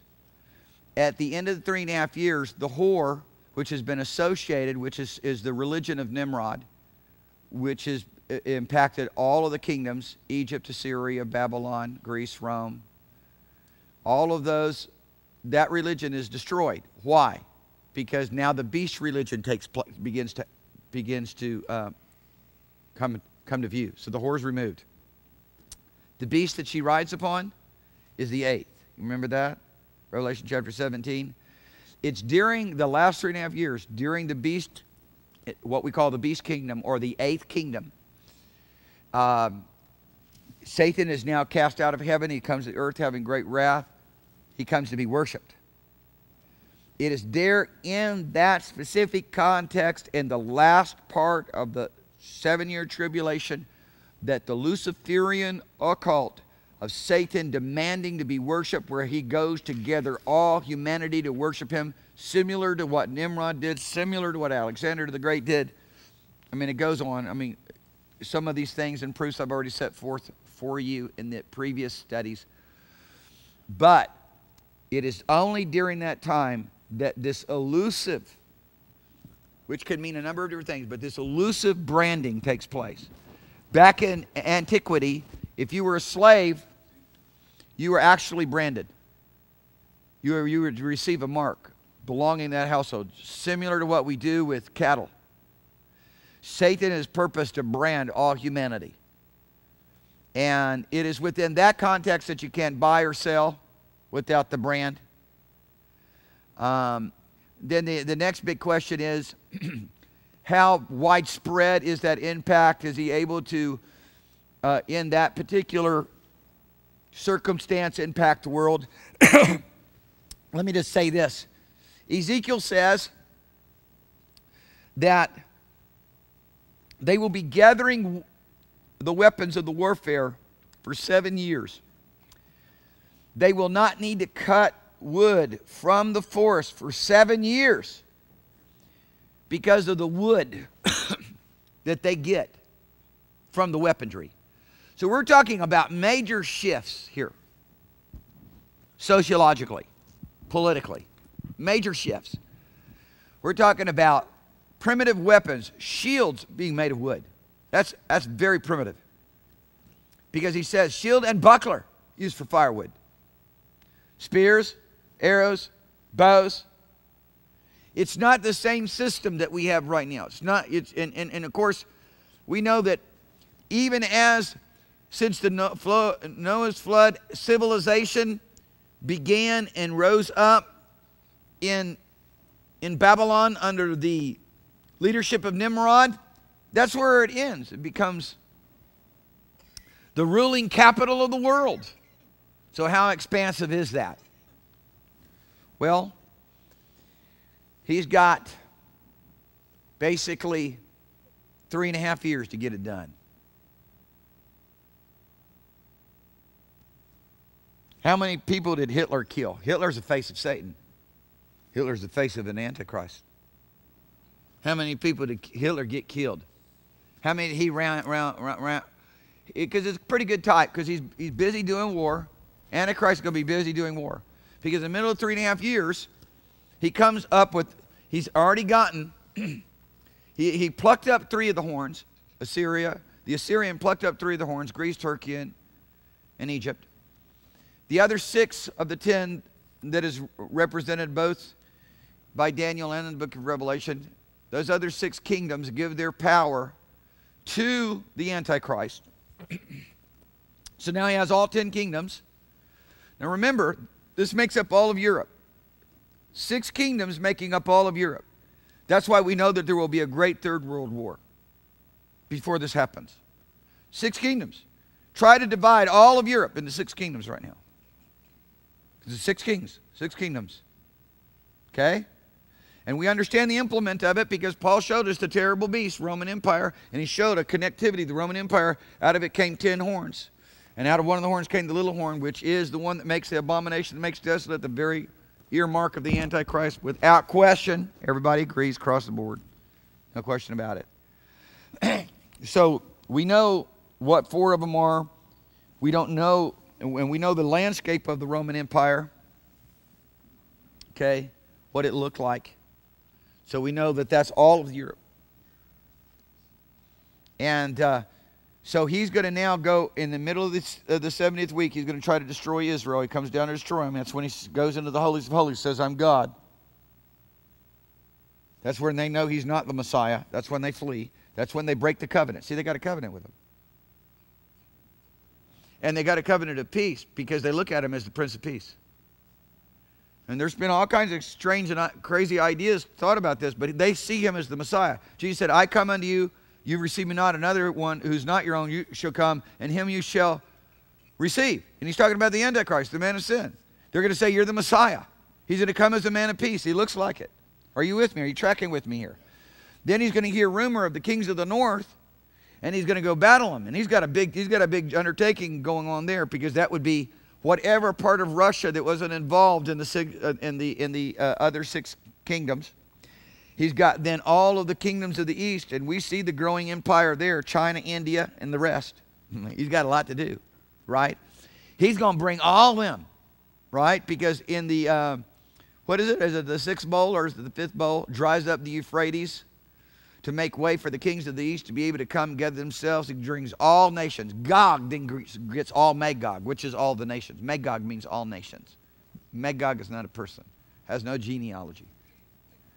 And so I, I, just want to erase that for you. That doesn't exist.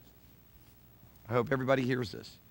If you want to write me, www.abidingplace.com, and be happy to discuss it with you and give you lots of proofs. Not just mine, uh, we just take any, you choose the theologian, you know, pick a number, win a prize. And we'll, we'll, we'll establish that for you. Just have everybody see that that's, that is the truth. but what I, my point I was making is that so many people get all carried away about the mark of the beast. Oh, it's the credit card. Oh, the credit card wasn't it. Now it's going to be a chip and whatever.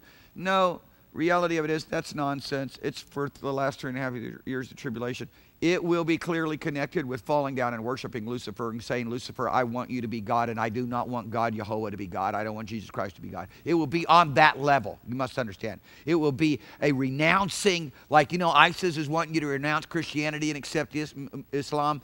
It will be a renouncing of God and acceptance of Lucifer on that level. Now, I want you to hear clearly what I'm saying here. Okay, then I, I got to get these other questions. Hear clearly what I'm saying. He's already wanting, he's, he's never quit wanting to be worshiped since Isaiah 14. He never wanted to quit worship, try to overthrow God. Jesus said, I saw him cast down as lightning to the ground. That happened before.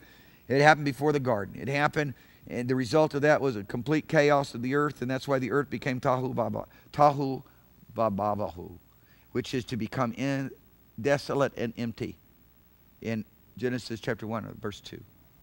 Okay? So he's always wanted to be worshiped. People worship him now. You worship him with sin.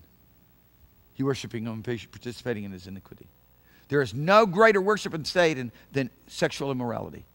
And God makes it clear and He makes it should so. There's no way to bind yourself more to the demonic than sexual immorality. No way. No way. It's far worse than sitting in a pentagram and asking devils to come and possess you. God made it clear over and again from Genesis all the way through. Okay? I saw other hands go up. Let me try to forget. I'm terrible at answering questions quickly. Um, so in the in the tribulation, when God's pouring out His wrath, it says usually says like afterwards they say men did not want to repent. And still they would not repent. Yeah. But uh, you said before that there are saints that will try to that will that Satan will overcome, and he said you know it just takes like a second, like an instant to be a saint. Right. So like, is it true that some people repented? Like, Well, listen, listen. It's God's dealing. It's it's it's Romans chapter eleven. God bringing back Israel. It's the time of Israel. It's the receiving back in. It's them being received back in. Where do you find a time period where Israel is received back in? The veil is taken away. Okay. That is initiated with the 144,000. Clearly. You see a 144,000 evangelists raised up. Who are they raised up for? The house of Israel. Who, what, is, what has Israel been called since the days of Abraham? Saints. See, what happens, we think saints are, belongs to, is a term that belongs to people who are Christians. No. It belongs to God's people, God's covenant people. Israel's, the nation of Israel has been being called saints. The people of Israel have been being called saints since Abraham. So it's not about the nations. It's not about the nations. The time of the Gentiles is finished.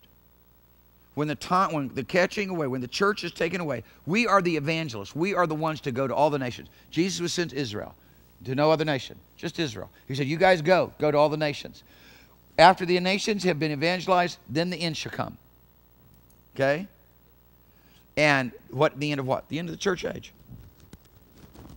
So when you look at saints, you know, you, you say, well, can somebody possibly be saved? Well, let me just say this.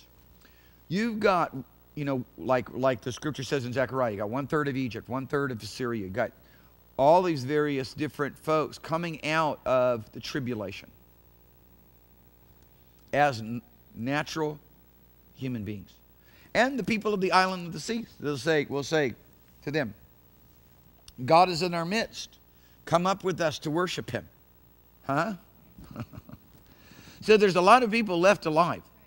Well, there are a number of people left alive. I mean, you, there's people are just wiped out. Look at total up the total amount of people that are taken out, beginning with the with, with, the uh, beginning with the uh, fifth seal, starting the fifth seal. Take total up total amount of people wiped out on the face of the earth. Look at the conditions in which they're in. Okay, you got no, you got, you got no, no moon, no sun, no stars shining at various different intervals of time throughout the tribulation. That's extremely cold. You got, you got situations where no one can grow anything. I mean, how do you grow something? How do you grow something? We got demon locusts flying around, stinging you, and all kinds of other things going on, war and havoc and upheaval. Okay, it's really about. It's really about I don't believe anybody but Israel is going to be saved as part of the first resurrection saints. You understand what I mean? Saved to be a part of the first resurrection, to have an immortal body, to be a part of the first resurrection, to receive a glorified body like Jesus. None except for Israel. There, it's Israel's opportunity to be a part of the first resurrection. They're blinded. There's a blind. There's there's a spirit of blindness on them right now because of their iniquity and because of their sin and because of their rebellion. The Lord's going to remove it. Romans chapter 11, there's going to be a time of receiving them back in. Okay? And this is all before the tribulation. This is during the tribulation. During tribulation. Right. Right now, before the tribulation, everybody that's going to be a part of the nations, including Israel, because there's many people over the years, Israel, you know, it was it was God's people, Israel, who started the church. First century church was primarily Jewish people. And over the years, in every generation, there's been a population of Jewish people who've recognized who the Messiah is. But this is for all nations. And everybody who died in Christ Jesus or who is alive when he returns shall be a part of the first resurrection. Then there's another company that's part of the first resurrection. Is those who are killed, martyred, martyred. It's not, Lord Jesus, forgive me of my sin. I invite you to come. You got to be killed, martyred to be a part of first resurrection. Very important point. Study it out. Prove it for yourself. There is nobody coming out of the tribulation, a part of the re- resurrection, unless they are beheaded. Romans 20, verse 4. And it begins in Revelation chapter 6. And they're, they're underneath the altar, have to remain there, cannot be seen, have to stay there, and kept until all their brethren who are killed in like manner as they are killed. And that's what the Assyrians did. The Assyrians were headhunters. Every relief you'll see of a Assyrian, they're carrying heads around, baskets full of heads. That's was the thing that they did. Okay, are you with me? You understand? There is no evidence, proof, period, at all that any Gentile will be saved, as we understand, saved during the time of the tribulation. However, I will leave room that they did not receive the mark of the beast and that they, as a Gentile, one of the nations, was beheaded for the Lord Jesus Christ, martyred for the Lord Jesus Christ. People can't stand up against little, you know, stick demon that's blind in both eyes, deaf in both ears, mute, has an IQ of zero, and is, is a paraplegic. They can't stand against a demon like that. What are they going to do when the devil's listening with that kind of deception? Because he will go. He will go with such deception he will deceive the kings of the earth with his signs and wonders and miracles. He will take you, man. He will take you. That deception. People think they're smarter than they really are. People think they have a stronger will than they really do. Every day your will is proven to you how strong. Your perceptions are continually being witnessed and testifying for you or against you of how accurate they are. People ain't gonna, people ain't gonna make it. You're not gonna make it. Give me a break. I've been pastoring 33 years. And nobody can make it in tribulation. You can't make it now, you ain't making it then. Huh? Not at that level. Satan has Satan's been given power. It's like the Lord says, the Lord says you can just go this far. You can only be tempted, will not be tempted above what you're able. That's not so in the tri- tribulation. He, as he removes the boundary. It's like taking the boundary. The waves come just so far. Almighty waves have to obey him. They come just so far because God set a boundary. The boundary is removed. Whoosh, and now the, the, when the tide comes in, it goes all the way up to Ramona and past. It goes into the, it goes into the, to the desert. It floods the earth. There's no boundary. There's no limitation. Are you with me? Did I answer your question? Yeah, so they don't repent as we know repentance, but they get beheaded. You, yeah, you got You're going to have to stand for Jesus. You're, if you're going to be a part of the first resurrection, you're going to get killed in the tribulation. Otherwise, you go through the tribulation, and if you were the one, the lucky one who made it in your bunker, I'm just joking. I'm just joking with your lima beans, okay? Then you, then you get to go into the tribulation as a living human being. But you'll never be a part of the first resurrection. That company is sealed. The company of the first resurrection is sealed when? At before Jesus returns to the earth to set up the kingdom. Important point. When is the second resurrection, which is for the dead, a thousand years later. Is there any other resurrection? Doesn't exist. Is there another part of the first resurrection? No. It closes before Jesus returns to the earth to fight the battle of Armageddon. It's closed. Important point. Just want everybody to understand that. The gathering up of the resurrected saints is the very salient point of argument for that the tribulation has no place or opportunity for such an event to take place. The only thing that happens during the tribulation is an additions made, as I was showing you those lines, additions are made for the martyrs of the tribulation to be included. And those martyrs, who do the martyrs end with? Come on. Who do they end with? Who's the last two martyrs? Enoch and Elijah, okay. The, the two witnesses. Somebody said, Can it be Moses? It can't be Moses. Moses' body was dead. That means he's got to be raised up from the dead as a natural human being. Not a resurrected saint. There's two guys who haven't died. They were both end time prophets. Both of them thought that they were at the end. First one was Enoch. He prophesied God will come with 10,000 of his saints to execute judgment on all the ungodly for the ungodly deeds which they've ungodly committed. That's a whole lot of ungodly. That's a serious prophet getting down, okay? He's coming. He's been in reserve for 5,000 years, been held back, right? And then the second prophet who really truly believed that he was living in the end time, prophesying the end time, when the Assyrian was come to destroy uh, uh, the nation of Israel, would destroy the earth as well and would advance the kingdom of God the Lord caused him to realize, no, you're going to have to wait. He, he, was, he had it in him. He was, he was end time prophet. Well, he is. The Lord had to put him on hold for 2,700 years. Those two are coming back. And so Israel today sets a place for Elijah to return. Guess what they're going to think? They're going to think that the false prophet is Elijah. He's going to do what Elijah did. He's going to call fire out of heaven. He's going to deceive many. He's going to deceive many of Israel. Many of Israel will go ahead and accept the Messiah as God. Only the discerning, only the, only the devout will say, He's not the Messiah. He's making himself God. He cannot be. And then they'll flee. He'll take, he'll take a lot of Israel out. Especially with the activity of the uh, false prophet who actually rises up right at that time because he looks just like Elijah. He fits Elijah perfect. He does miracles, calls fire down out of heaven. He's Elijah. He's everything. You go read what an Orthodox Jew believes or a Hasidic Jew believes that Elijah will do when he returns. False prophet of the Revelation of the last three and a half years fits him perfect. Okay, once again, I'm terrible with questions. Okay, so my question was there will be some people still alive after the tribulation. There will be lots of people, whatever that means, relatively speaking, So- alive. So then, One third of the nations, when you look at just those surrounding ground zero. So, how much more for the islands of the sea? And you and I, somebody says America in the Bible, we island of the sea. A big island, but nonetheless. okay, so then we're ruling and reign- reigning with Christ during the thousand years along with these people. Okay, all resurrected saints from Abel, including all the all of the tribulation saints, ruling and reigning with the Lord Jesus Christ four thousand years. Emphasis on the martyred saints. Revelation but twenty verse four. Pardon? We were there. We came with Jesus. We're there. We came with Jesus. We were at the judgment seat of Christ. We were there.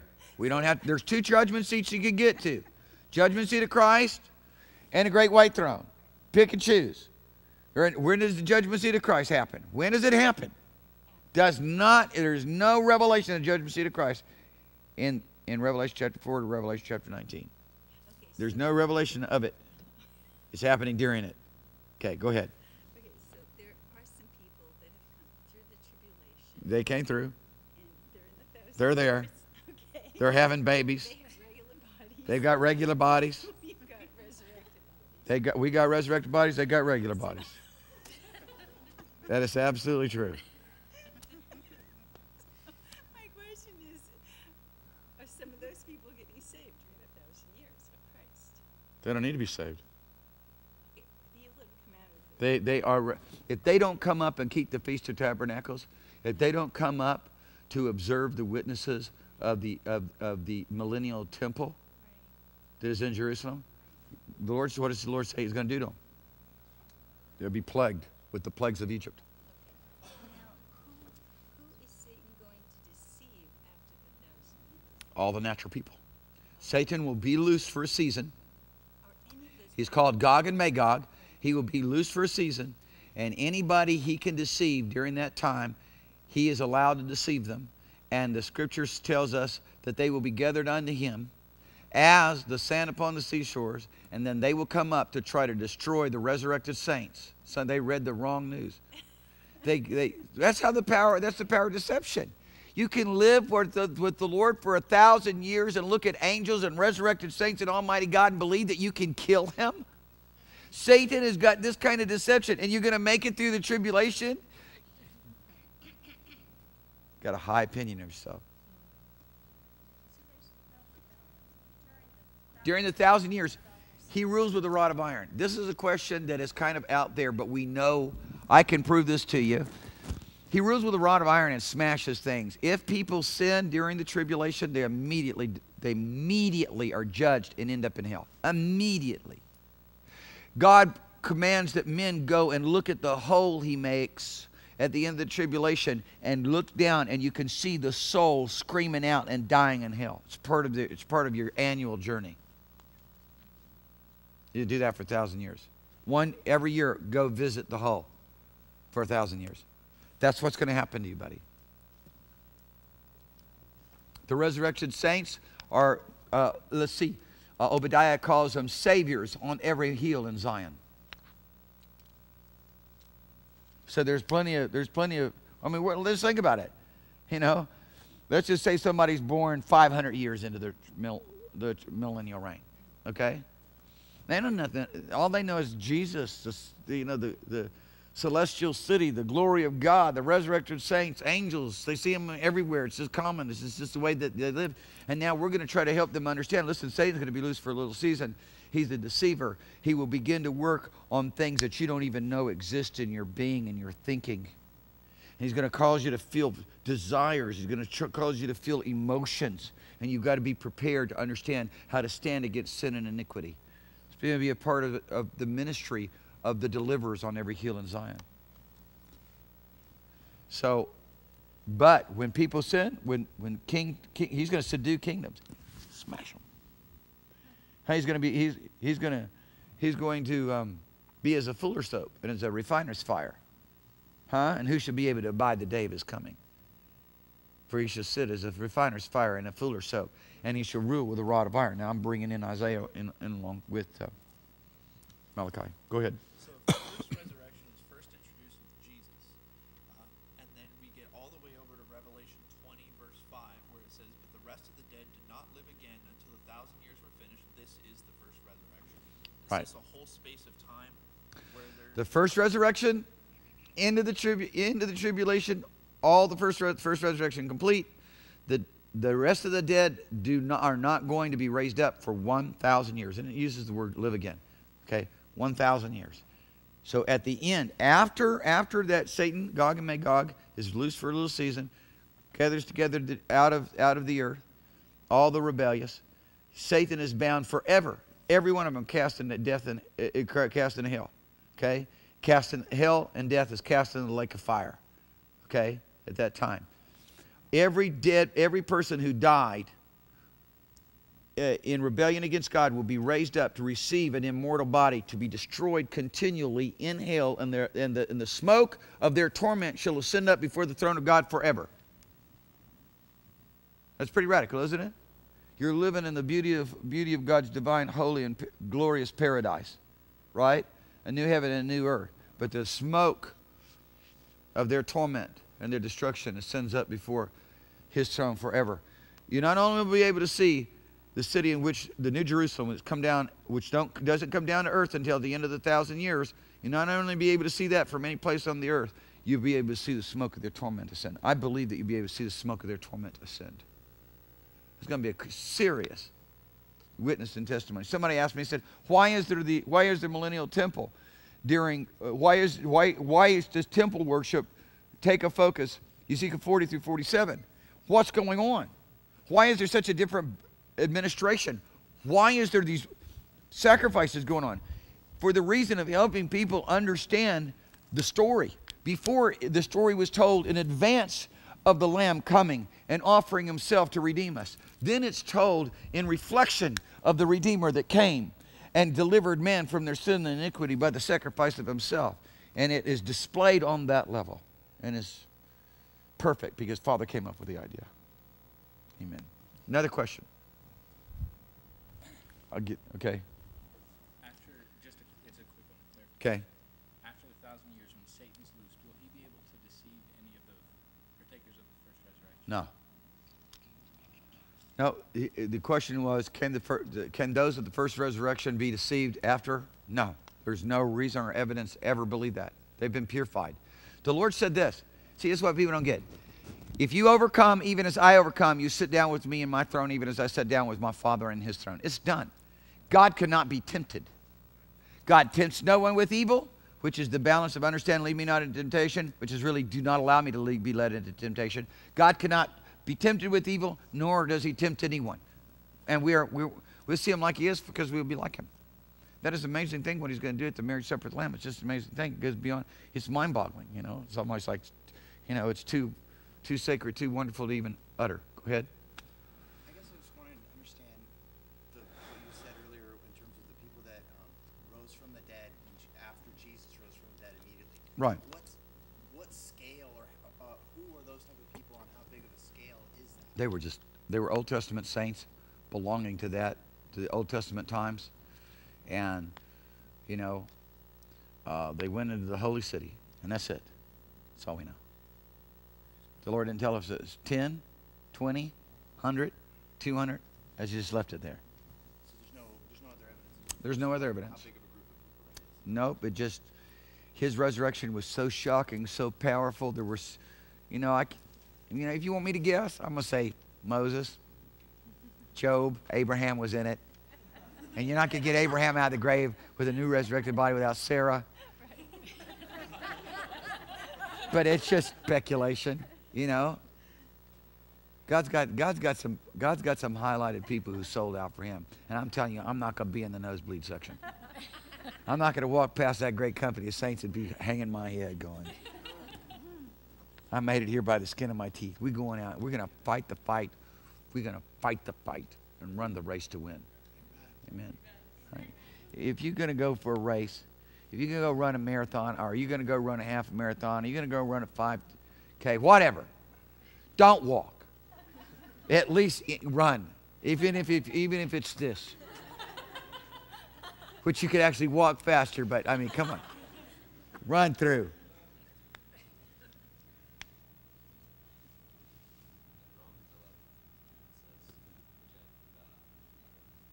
the Gentiles, the fullness of the Gentiles is coming, and that all of Israel will be saved. Like, how does that happen? And then they go into tribulation. So many of them are confused about that. Okay. Okay. Let's go look at it.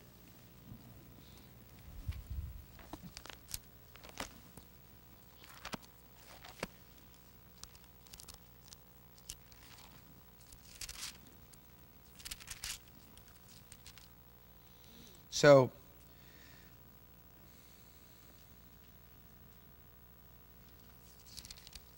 where do you want to start? You want to start at verse 11? Where, where specifically are you at right now? Okay, so I say then, had they stumbled that they should fall, God forbid, but rather through their fall, salvation came to the Gentiles. We know what that happened when that happened 2,000 years ago. Okay?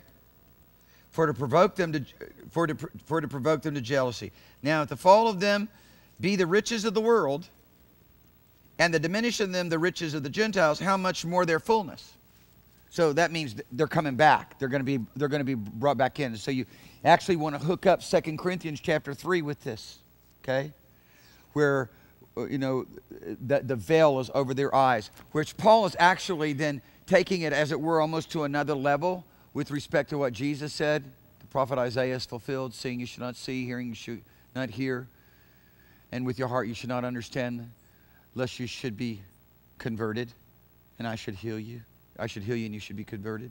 And then, of course, then Paul said, of course, at again at, in his dealings with Israel in the end of Acts, where he said, rightly has Isaiah prophesied concerning you. Okay. So this is the bringing back in. So right here, this is the 70th week, where we're talking about the 70th week, where the veil is removed. Here, we're beginning, we're talking about the 70th week. So it, it's once again going back. When, what, what is God's focus? What, was it all men be saved? It's wide open to every man, okay? He's not dealing in any way specifically with any nation. He's made everybody equal, okay? Jew and Gentile alike, okay? Scythian, same as the Jew. One new man. He's removed the partition, the, the wall of partition, okay, between Israel and between the Gentiles. So it's for everyone, Israel, all the nations. But that doesn't in any way fulfill the 70th week. The 70th week of God's specific dealings with Israel as a nation has not taken place, and it must take place. And it must last for seven years, according to the things that Daniel said. And, and during that time, temple worship, temple must be built, and temple worship must now be reinstituted, and God must be in the midst of it. So that's a radical shift. Once again, the, the temple cannot be made desolate if unless his glory is there. Because it is a terminology that is rich within all uh, temple protocol. And, and, and, and, and especially in Leviticus. There are certain sins that if those sins are done even by the priest or the king, the glory will depart. And now there is a means by which that sin or those iniquities can be purgated. The word that is most commonly used for kippur is atone, but it's not the right word. It's purgate. It's because we understand from the ancient use of the language, which was pre theology of atonement, from ancient Ugaritic and Akkadian, kippur always meant or was used for detergents that took out the worst kinds of stains. So it's purgate. Okay? So those sins had to be purgated, then the divine presence would come back in. Okay? So that's, that's a very important point to their fullness. Now, they're the focus, they're the center of what Father's doing. Okay? It's when you look at the whole scope of prophecy, it's very different than what a lot of people want to accept. The resurrected saints are ruling over the 12 tribes of Israel. Father's going to make their seed like the sand of the sea, sand upon the seashore, and the stars innumerable. The Gentiles in there? Yeah. But primarily, what we're doing right now, and what this is all about, is the resurrected saints, those who are going to be a part of Father's eternal kingdom, those whose Father has, those who, who you know, Father has redeemed from Adam's transgression and sin. Okay, so going on, try to get to, the, to your point. Now, if it followed them, okay, for I speak to you, Gentiles, and as much as I, apostle Gentiles, magnify my office. If by any means I may provoke to emulation that which is the flesh, that may, might, some of them may be saved. For if the casting away of them be the reconciliation of the world, when were they cast away? No man shall eat of this tree forever, kind of thing, you know? Dry up at the roots. It's done. I leave your house desolate. You cast them away. Right? That was, that was when? when he was crucified. And he turned to the Gentiles and he opened up a whole new door, a whole other, whole other dimension to the Gentile nation.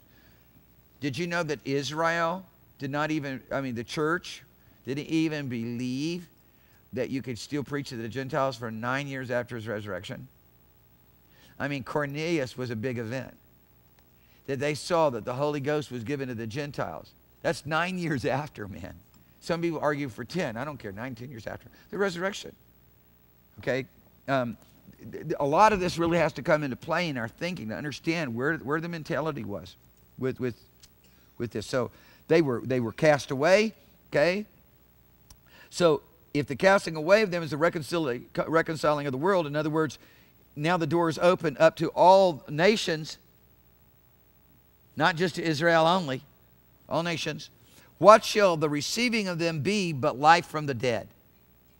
So the point of it is they're going to be received back in. And in a way, in, in a very special way, in a very unique way in which God is going to deal with them, to where that their eyes are going to be open so that they can behold the one that they pierced, as Zechariah said. For if the first fruits be holy, the lump is holy. If the root be holy, then the branches. And if some of them branches be broken off, and you being a wild olive tree were grafted in among them, and with them partakers of the root. And what are we talking about? We're talking about the kingdom now, right? We're not talking about Israel as a nation because the kingdom is for the kingdom of God is before Israel as a nation. So if you can be grafted into the kingdom of God, they broken off. And you being a wild olive tree can be grafted in. Okay? Boast not against the branches, but if thou boast, thou bearest not the root, but the root bears thee. That will say then, the branches were broken off that I might be grafted in. Israel was removed out of the way so that I, as a Gentile, part of the Gentile nation, could become a part of it. True. But what does the Lord say? Well, because of unbelief, they were broken off. Broken off of what? Kingdom of God. Okay? And thou standest by faith. Be not high minded. For if God spared not the natural branches, take heed lest he also cut you off. Behold, therefore, the goodness and severity of God on them which fail severity, but towards thee goodness, if thou continue in the goodness. Otherwise, you're going to be cut off too, just like Israel was cut off. And they also, if they abide not still in unbelief, shall be grafted in. So they get to be grafted in even right now. It's not like the door is closed. If you're a Jew, you can't be saved. It's not that, would be a, a wrong conclusion. For God is able to graft them in again. For if that were cut out of an olive tree which is wild by nature, and were grafted contrary to nature into a good olive tree, how much more shall these which are which be the natural branches be grafted into our into their own olive tree? Well, the kingdom of God. They're natural branches. Look, there's an event. It's going to happen. It can happen now. And it's going to happen on a national sense. And that's the point. It can happen on an individual sense, but it's happened on a national sense. In a national sense? No, not for a moment. For 2,000 years, not for a moment. For 2,000 years, they have cleaved. And I'm going to tell you right now, there's some radical things. You can get some radical testimonies of where rabbis were, were, were shot and didn't, didn't suffer any harm during, uh, during uh, the, uh, the Holocaust, during Hitler. All kinds of miraculous things. You can look at miraculous things that took place back in the days of, of Rambam, Maimonides. He, Ram, Ramadan prophesied the whole uh, Ottoman Empire. He prophesied, he said it would be 80 Jubilees. He prophesied everything to 2017. Back in the 12th century, he's the guy who put the whole Old Testament together and, and, and, and was used, used to resurrect the Old Testament so everybody could read it because only a handful of people could read it. It was kept in the hands of the Levites, the Kohanim, and, and, and, the, the people, the priest of Zadok, which they kept track of that even to this day, all the way through since, since the dispersia, the diaspora rather. Have they been coming? Have they, has there been a national bringing them back in? No. There will be a national bringing them back in. That's the 70th week. That's the return. Because all this is happening with Daniel going, when shall we return? When shall you, when shall you no longer uh, be angry with us? When, when shall you heal us? When shall we um, receive back that blessing that you promised us by the mouth of Jeremiah? I mean, those kinds of, those kinds of prayers, that, those kinds of requests. So that's, that's, what we're, that's what we're dealing with here. Okay, so for if you were cut out of the olive tree, which is wild by nature and grafted in contrary to nature, then into a good olive tree, how much more shall these which are natural branches be grafted into their own olive tree? For I would not, for I would not, brethren, that you would be ignorant of this mystery. Okay? The mystery that they will be nationally grafted back in. That's the mystery. They will be grafted back in as a nation in the 70th week and the, and the, Jesus will rule from Jerusalem, not from America, not from Timbuktu, from Jerusalem in the midst of the children of Abraham. There is an eternal and perpetual covenant there with them. They will be brought back in by way of the blood of Jesus Christ with a special, unique dealing with them when the veil is taken off. The blinders are removed. The deception is no longer hovering over them. The, when they had an incurable womb, a prophecy was given Seeing you shall not see. When God says you can't see, that means you're blinded. Hearing you cannot hear. It doesn't matter how they could, they, they, they were stuck in a, in a realm of darkness because of the rebellion and deception. Okay? For I would not, brethren, that you should be ignorant of the mystery, lest ye should be wise in your own conceits. That blindness in part has happened to Israel until the fullness of the Gentiles be come in. That's why I said that I put, not where Larkin puts, this is one of the reasons that I put the end of the times of the Gentiles, or the fullness of the Gentiles, right there before the beginning of the tribulation, before the beginning of the 70th week. Okay? That's why, and people have problems with it because when you say that, then there's no more dealing with the Gentiles. Then, then Gentiles can't be saved. They cannot be, by that virtue of that argument, which there's a lot more scriptures to build on this, and I don't have time to do it, obviously, that they will not be a part of the first resurrection. That period, that administration is over. Now it's all about Israel. God dealing with the nation of Israel. Raises up 144,000. Draws all of Israel, even returns Obadiah, Jeremiah, Isaiah, said even the northern kingdoms will be brought back in during that time. I mean, that is wild thought because They went in total diaspora. No one even knows that they're, those northern kingdoms, they don't even know that they're Jewish. They don't even know what tribe they belong to. And God's going to go get the northern kingdoms that have been lost completely, the, the, the, you know, the lost tribes of Israel, right? He said they're going to come back in. He's going to bring them back in. He's going to fish them in. And that's part of the job of the 144,000. It's pretty radical stuff. And we, can, we, we base this on a lot of things that Ezekiel said. Okay? And then you see the cultists of, this is why people get, I mean, I, I know people who have studied the word that are very good at Hebrew, that are study the word relentlessly, and they're like, they're still just sitting there going, I can't deal with Ezekiel 40 to 47. Help me. How is this? The millennials looks the millennial reign of Christ looks like the same cultus that was established by Moses. What do we go back to the law? Is it is it what what, all temple worship? And and it, and it, it's it's different. It's different. It's got a it's got a purpose. It's it's clearly explained. I can do that for you.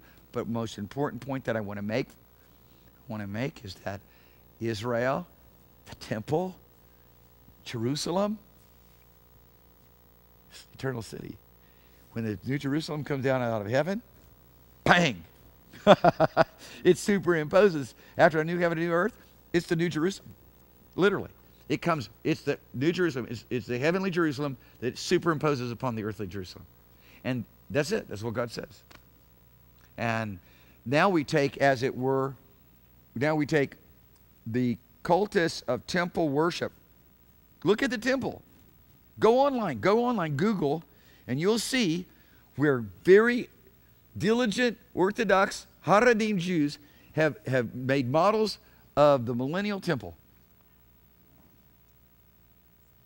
And it's beautiful and it's grandiose and it's bigger than the Temple of Solomon and it's bigger than the Temple of Herod. It's amazing. Center of everything that Jesus is going to be doing in the millennial reign.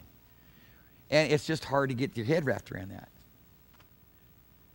And it's not going back to the law. It's the government of God, and it's severe. And he rules with a rod of iron, he smashes. He doesn't allow sin and iniquity. Not one. Adultery, you go right to the pit, just like Korah and Dathan. Papa, have no, Papa has zero tolerance for sin, zero tolerance for iniquity. Against popular, modern, post apostasy,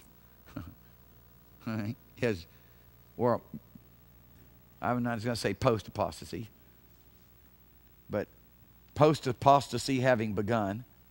So apostasy is here, in other words. Father has no tolerance for sin.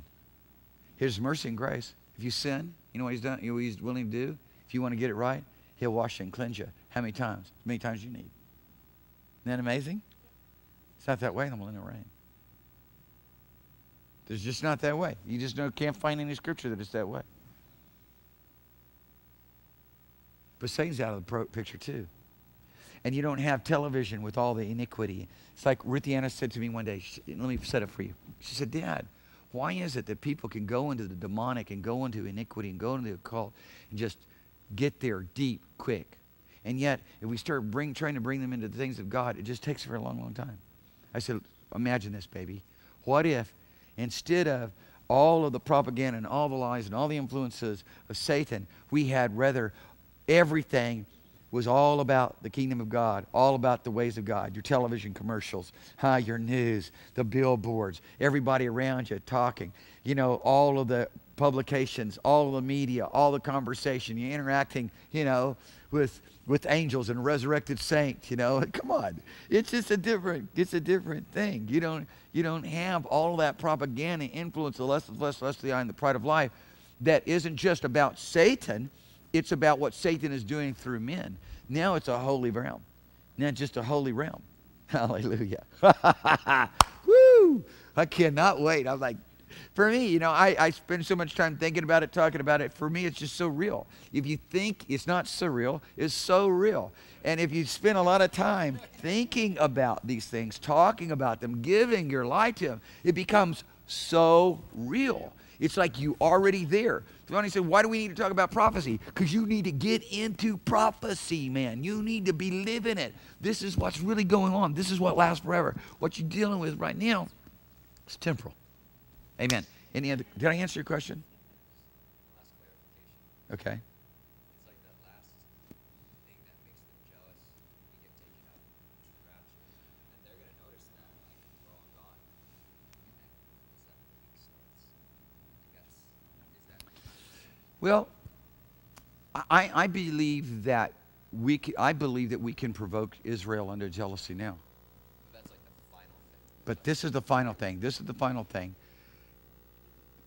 Does that classify as uh, the signs in the heavens that they're referring to? In the day of Jesus and that are alluded to by some of the prophets. It can be. It's not really, we're not real clear on that. We can't, it's still kind of up there for maybe so. Um, but I believe that there are going, there clearly are encounters. Will the Lord allow them to see when the blinders are taken off? Will the Lord allow some of them at least to see the meeting in the air? Because that's going to be, that's sizable. That's sizable. Yeah, and and because immediately there's going to be 144,000 virtuous Jews. I mean, I know, I know Jewish people right now who they spend they they spend all day. They don't go to work.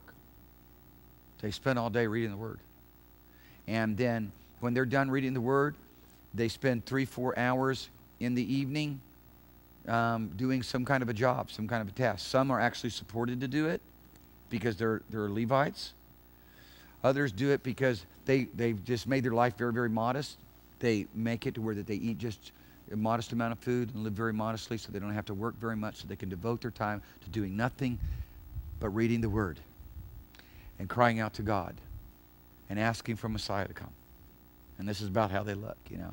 And it's just all day long. And it's pretty radical. What, wouldn't it be beautiful if God's people could do that? We're so materially minded. We've got to have this, and we've got to have that, and we've got to have the other thing. And we get all this stuff stacked up. We don't think like they think. Look, the most important thing is give myself to the Word. So I want to leave, I want to make sure that I'm not over, overloaded with debt and, and, and need for finances. I'm going to live very modestly, so for the single purpose of giving myself to knowing God. And that's about as close as you could get to seeking first the kingdom of God, but they're doing it in ignorance, not according to knowledge. So there is a, an event, clearly, a supernatural event that the Lord is going to use to remove the blinders off of at least 144,000 that are that way. They won't drink a Coke. They won't drink a Coke. They won't drink anything that, or partake of anything that has shown anyone uh, dressed immodestly. And what we would call dressed immodestly, uh, what they would call dressed immodestly, we would think would we would call it modest. Relativism. They're just if it, it arouses any emotion of lust, it's evil. Okay, and they're just dedicated to this. And, and and did the Lord put that in them? There's no question in my heart and mind that the Lord put that in them. Have they seen Jesus yet? No. They are so indoctrinated um, that they have not seen Jesus. They have deprogrammers. In other words, if you're an Orthodox Jew and somebody tells you about Jesus and he start, starts working on you, you go to the deprogrammers, and they're brilliant guys, brilliant rabbis who can erase every, every, every remembrance from your mind, your psyche Jesus. That's going to change. It, did it, was there any other question? I mean, these are great questions. Okay, yeah. Did, does that really fit here? Are you one? Okay. Did I say the deeds of the Nicolaitans recently? Okay. I don't believe I did, but I could have. Well, the Nicolaitans were a group of Gnostics. Who are most like the Gnostics today? Jehovah's Witness. Jehovah's Witness are the true Gnostics. It's all about the gnosis. And um, that's why they would never be able to believe that Jesus uh, is, is God because they can't see, as true Gnostics, they cannot see the, the things of God come into the flesh. Now, they believe this that as long as you do not sin with the pneuma, which is spirit, uh, then you are acceptable to the Lord. but if but you could do but the the soma, the body, is innately evil. And you can do anything with your body, it's totally fine. Just don't sin with your spirit. So you can commit adultery, fornication, lasciviousness. You do anything with your body, gluttony, whatever, doesn't matter. And um, so they they are very hedonistic. The Gnostics are there's a sect of Gnostics that are very hedonistic. Um, specific sins of the Nicolaitans in, in that context. Um, well, one of the things that they would deny, they would deny that Jesus came in the flesh, that God came in the flesh. Great is the mystery of godliness. God was manifested in the flesh. That's right. Jehovah's Witness says it doesn't say in the Bible that Jesus was God. I said many times. How many times you want? They're looking at me. You're kidding me. No, I'll show you hundreds of times. Where do you want me to begin? You ready? Sit down and start listening. Because that's always the first thing they're going to say. I hope that you're skilled enough to show them hundreds of times in the scripture, in the Gospels alone, that Jesus is God. Don't even have to pull out great is the mystery of godliness. God was manifested in the flesh. And Nicolaitans, hands down, no, there was no way. Okay? We're done. We're, Joe? Okay, I, I, I, I'll take one more. Hands. Was there? Did I see another hand over there? Wait, wait, Joe. Just about the second Thessalonians 2, 1 through 4. Brian. Could you maybe just read that and maybe just explain it maybe five minutes? Well, first of all, first of all, I'm going to say this. I'm going to say that there is an elliptical apodosis in there, which is a very difficult grammatical challenge in the Greek language, and then try to be superimpose it on the English language. So what I'm going to do, the best way to do it, and I have my own translation of it, and it's a little bit deeper. And so it's where I said, you know, we're at 101, okay? We're, we're in, we're in, we're in uh, Prophecy 101, and then there's uh, 201, okay? So this is 201, but I'm going to take it for just a minute, and, and I'm going to show you something, okay? And the best way to do it is there's a couple of things that, that Paul highlights that we have to keep in the, in, within the framework of what we say. Number one, he had already said something to them. He already discovered, disclosed something to them. He tells them, I've already told you this. I've already told you about this. Okay?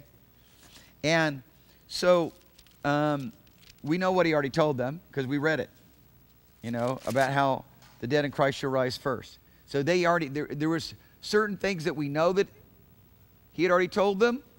And then there are some things that he reveals here in chapter 2 that we didn't know that he had already told them.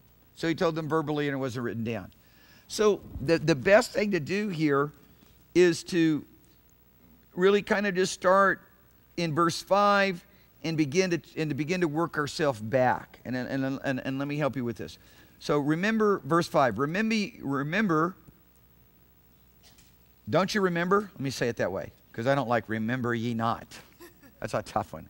Don't you remember that when I was with you, I told you these things? And now you know what is restraining or holding back, what restrains, what prevents the unveiling, or what re- prevents um, the revelation, the unveiling, the disclosure of the man of sin, the Antichrist, and the, and the period of time in which he exists. Okay, so I'm, I'm not only looking here, I'm looking at the Greek text. And I'm happy to take anyone. And I believe people need to go through the Greek text on this because it is a very challenging, what we would call pericope of Scripture, that you, because it, when you have an, um, an this what, what is phrased as an elliptical apodosis, it means that there is something there that is not written, but yet it's assumed.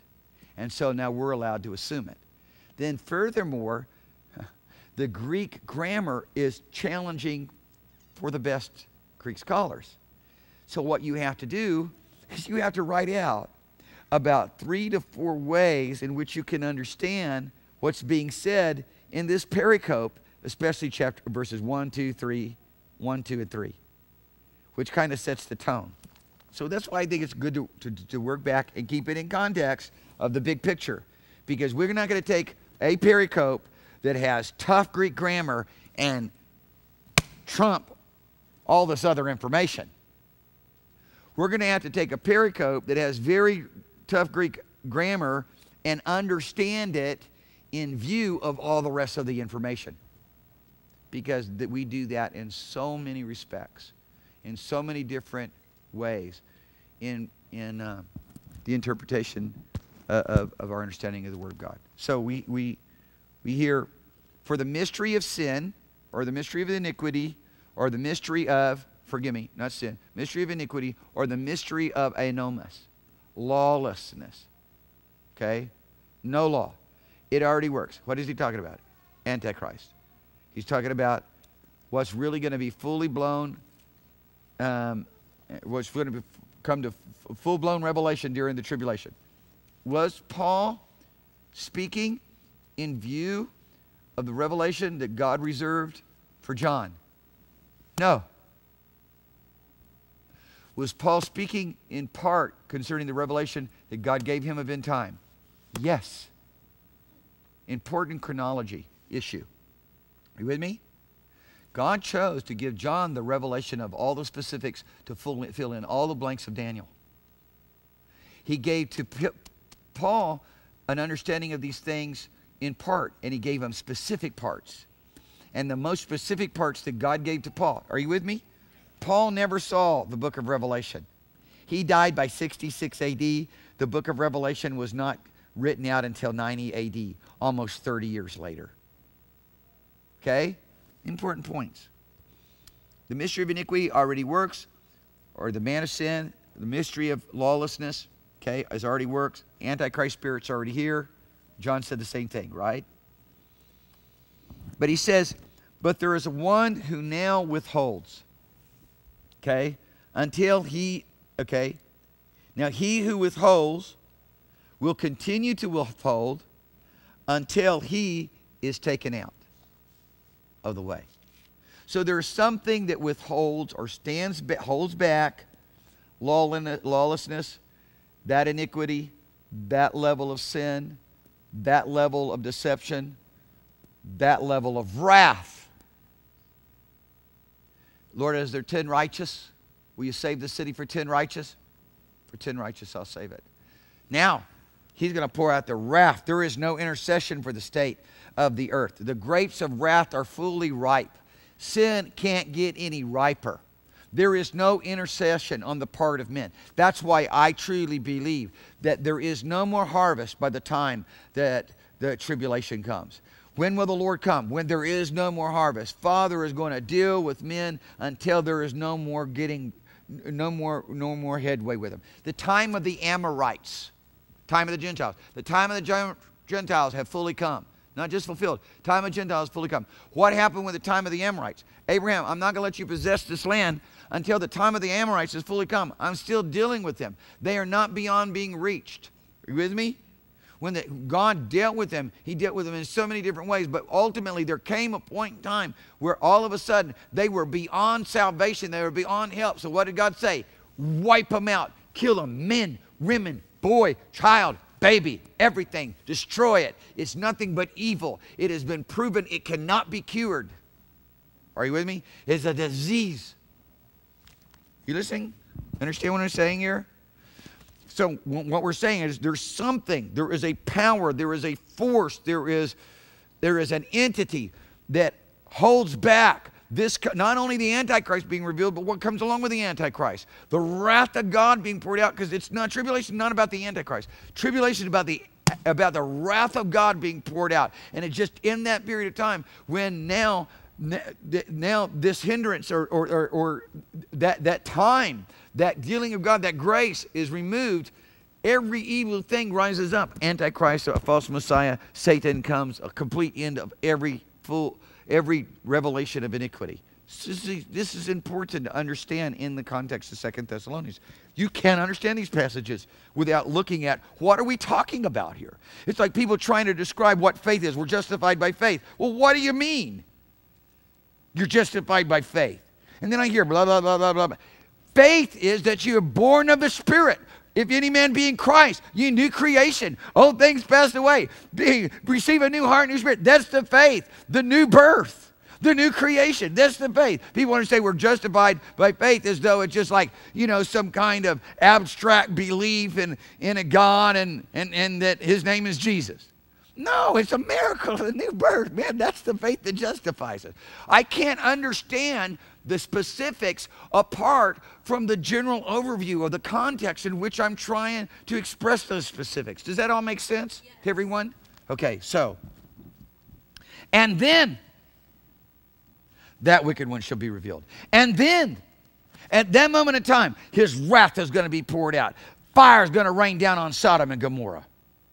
Are you listening to me? Okay? Now, the first part of it, what I would rather do for you, and, and I'll do it at some other time for everybody, and some of you have already been through this drill with me, and I have this posted also.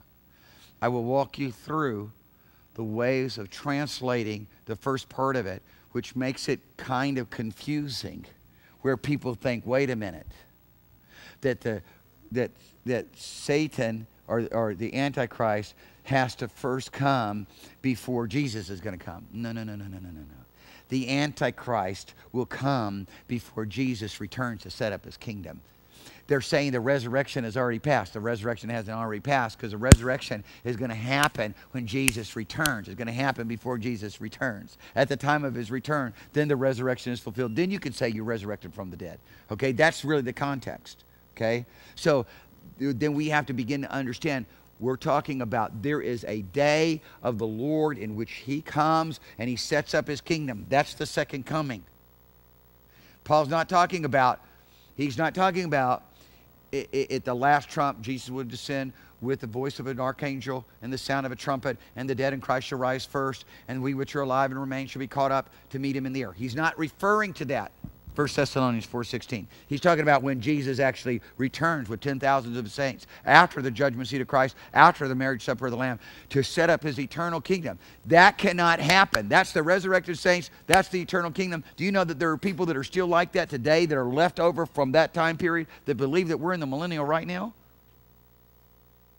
They teach in Bible schools. They believe we're in the millennial right now. We're in the millennial reign of Christ. Tribulation happened in 70 AD. Okay? So he when we begin to deal with these different ideas and different theological perspectives, you can begin to see how they flow in here and how ultimately they're still remnants of what Paul was dealing with at that moment in time, even to this day. And he's saying, wait a minute, the Lord's not going to, the day of the Lord will not come. It, it, there's going to be a great falling away that's going to happen first. The man of sin is going to be revealed first. But he's not saying the catching away is going to, uh, he's not saying that the, the, day of the Lord is the catching, of the, catching away. In fact, he's saying rather, when, and that's why I started later, he's saying rather this. He's saying that there is a hinderer that withholds the Antichrist from being revealed. And that hinderer that withholds him, that withholds all that comes along with him, especially the wrath of God, has to be removed. Then the lawlessness can sweep in. So here's the chronology event there is a hinderer that withholds. Somebody said, Why didn't he just say the church? I don't know. That's a good question to ask him. Why is, this, why is that shrouded in mystery? I don't know. Ask Paul. I don't know, but he did shroud it. You, okay, he shrouded it by calling him uh, the hinderer of iniquity. So then it's one of three things. One of three things. Either it's the governments of men, because that's what that hinders lawlessness, right? Praise God for police running around, governments, right? Throw you in jail, do something wrong, right? Holy Ghost, or it's the church. There's not a fourth option. Governments are still here during the tribulation. Holy Ghost is still here during the tribulation because the works of the Holy Ghost are going to be seen if with no one else, works of the Holy Ghost going to be seen between, in the midst of Elijah and Enoch, the two witnesses.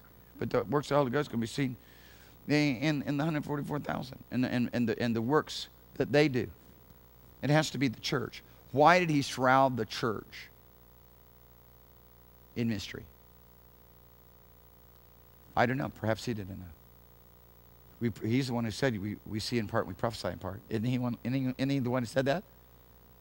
Paul said that. He's, he's the one who said that. 1 Corinthians chapter 13. and um, however, there is no place in the doctrine of Paul anywhere that he viewed himself going through such a tribulation. Or put it this way there is no place anywhere that Paul viewed himself as being around when the wicked one should be revealed. However, he did view himself as being around when the catching away took place. Want to go through that logic again? Okay, got it? That's a very important point. Why is Second Thessalonians chapter 2, 1 through 7 shrouded in certain mystery? Why it is a very difficult Greek that everybody wrestles with? I don't know. I wrestled with it. I wrestled translating it, trying to translate it. After I had gotten pretty good at Greek, I think I spent a year on it. I just back and forth. I spent a long time with it. It's just, it's a puzzle. And um, just how to, how to do it accurately. That's what I was back and forth on. How do, how do I do this most perfectly? How do I do this most accurately? How do I bring things out that's there, that's hidden away? And, I, and there are things hidden away that you can bring out that even makes it more profound in making the point that I just made. I wouldn't do it because I don't think it's necessary. I wouldn't make that the place or the battle, the, the, the, the, the, the, ba- the battleground that I would try to defend. I would leave it to some degree as elusive as even the King James translators translated it, just emphasizing those points that I just made. Okay? And happy to write that out for anybody if you need it. I think we're done. We done? We're done. I know I got you moving now with questions, but good. Love all you guys. Bless you. In Jesus' mighty name.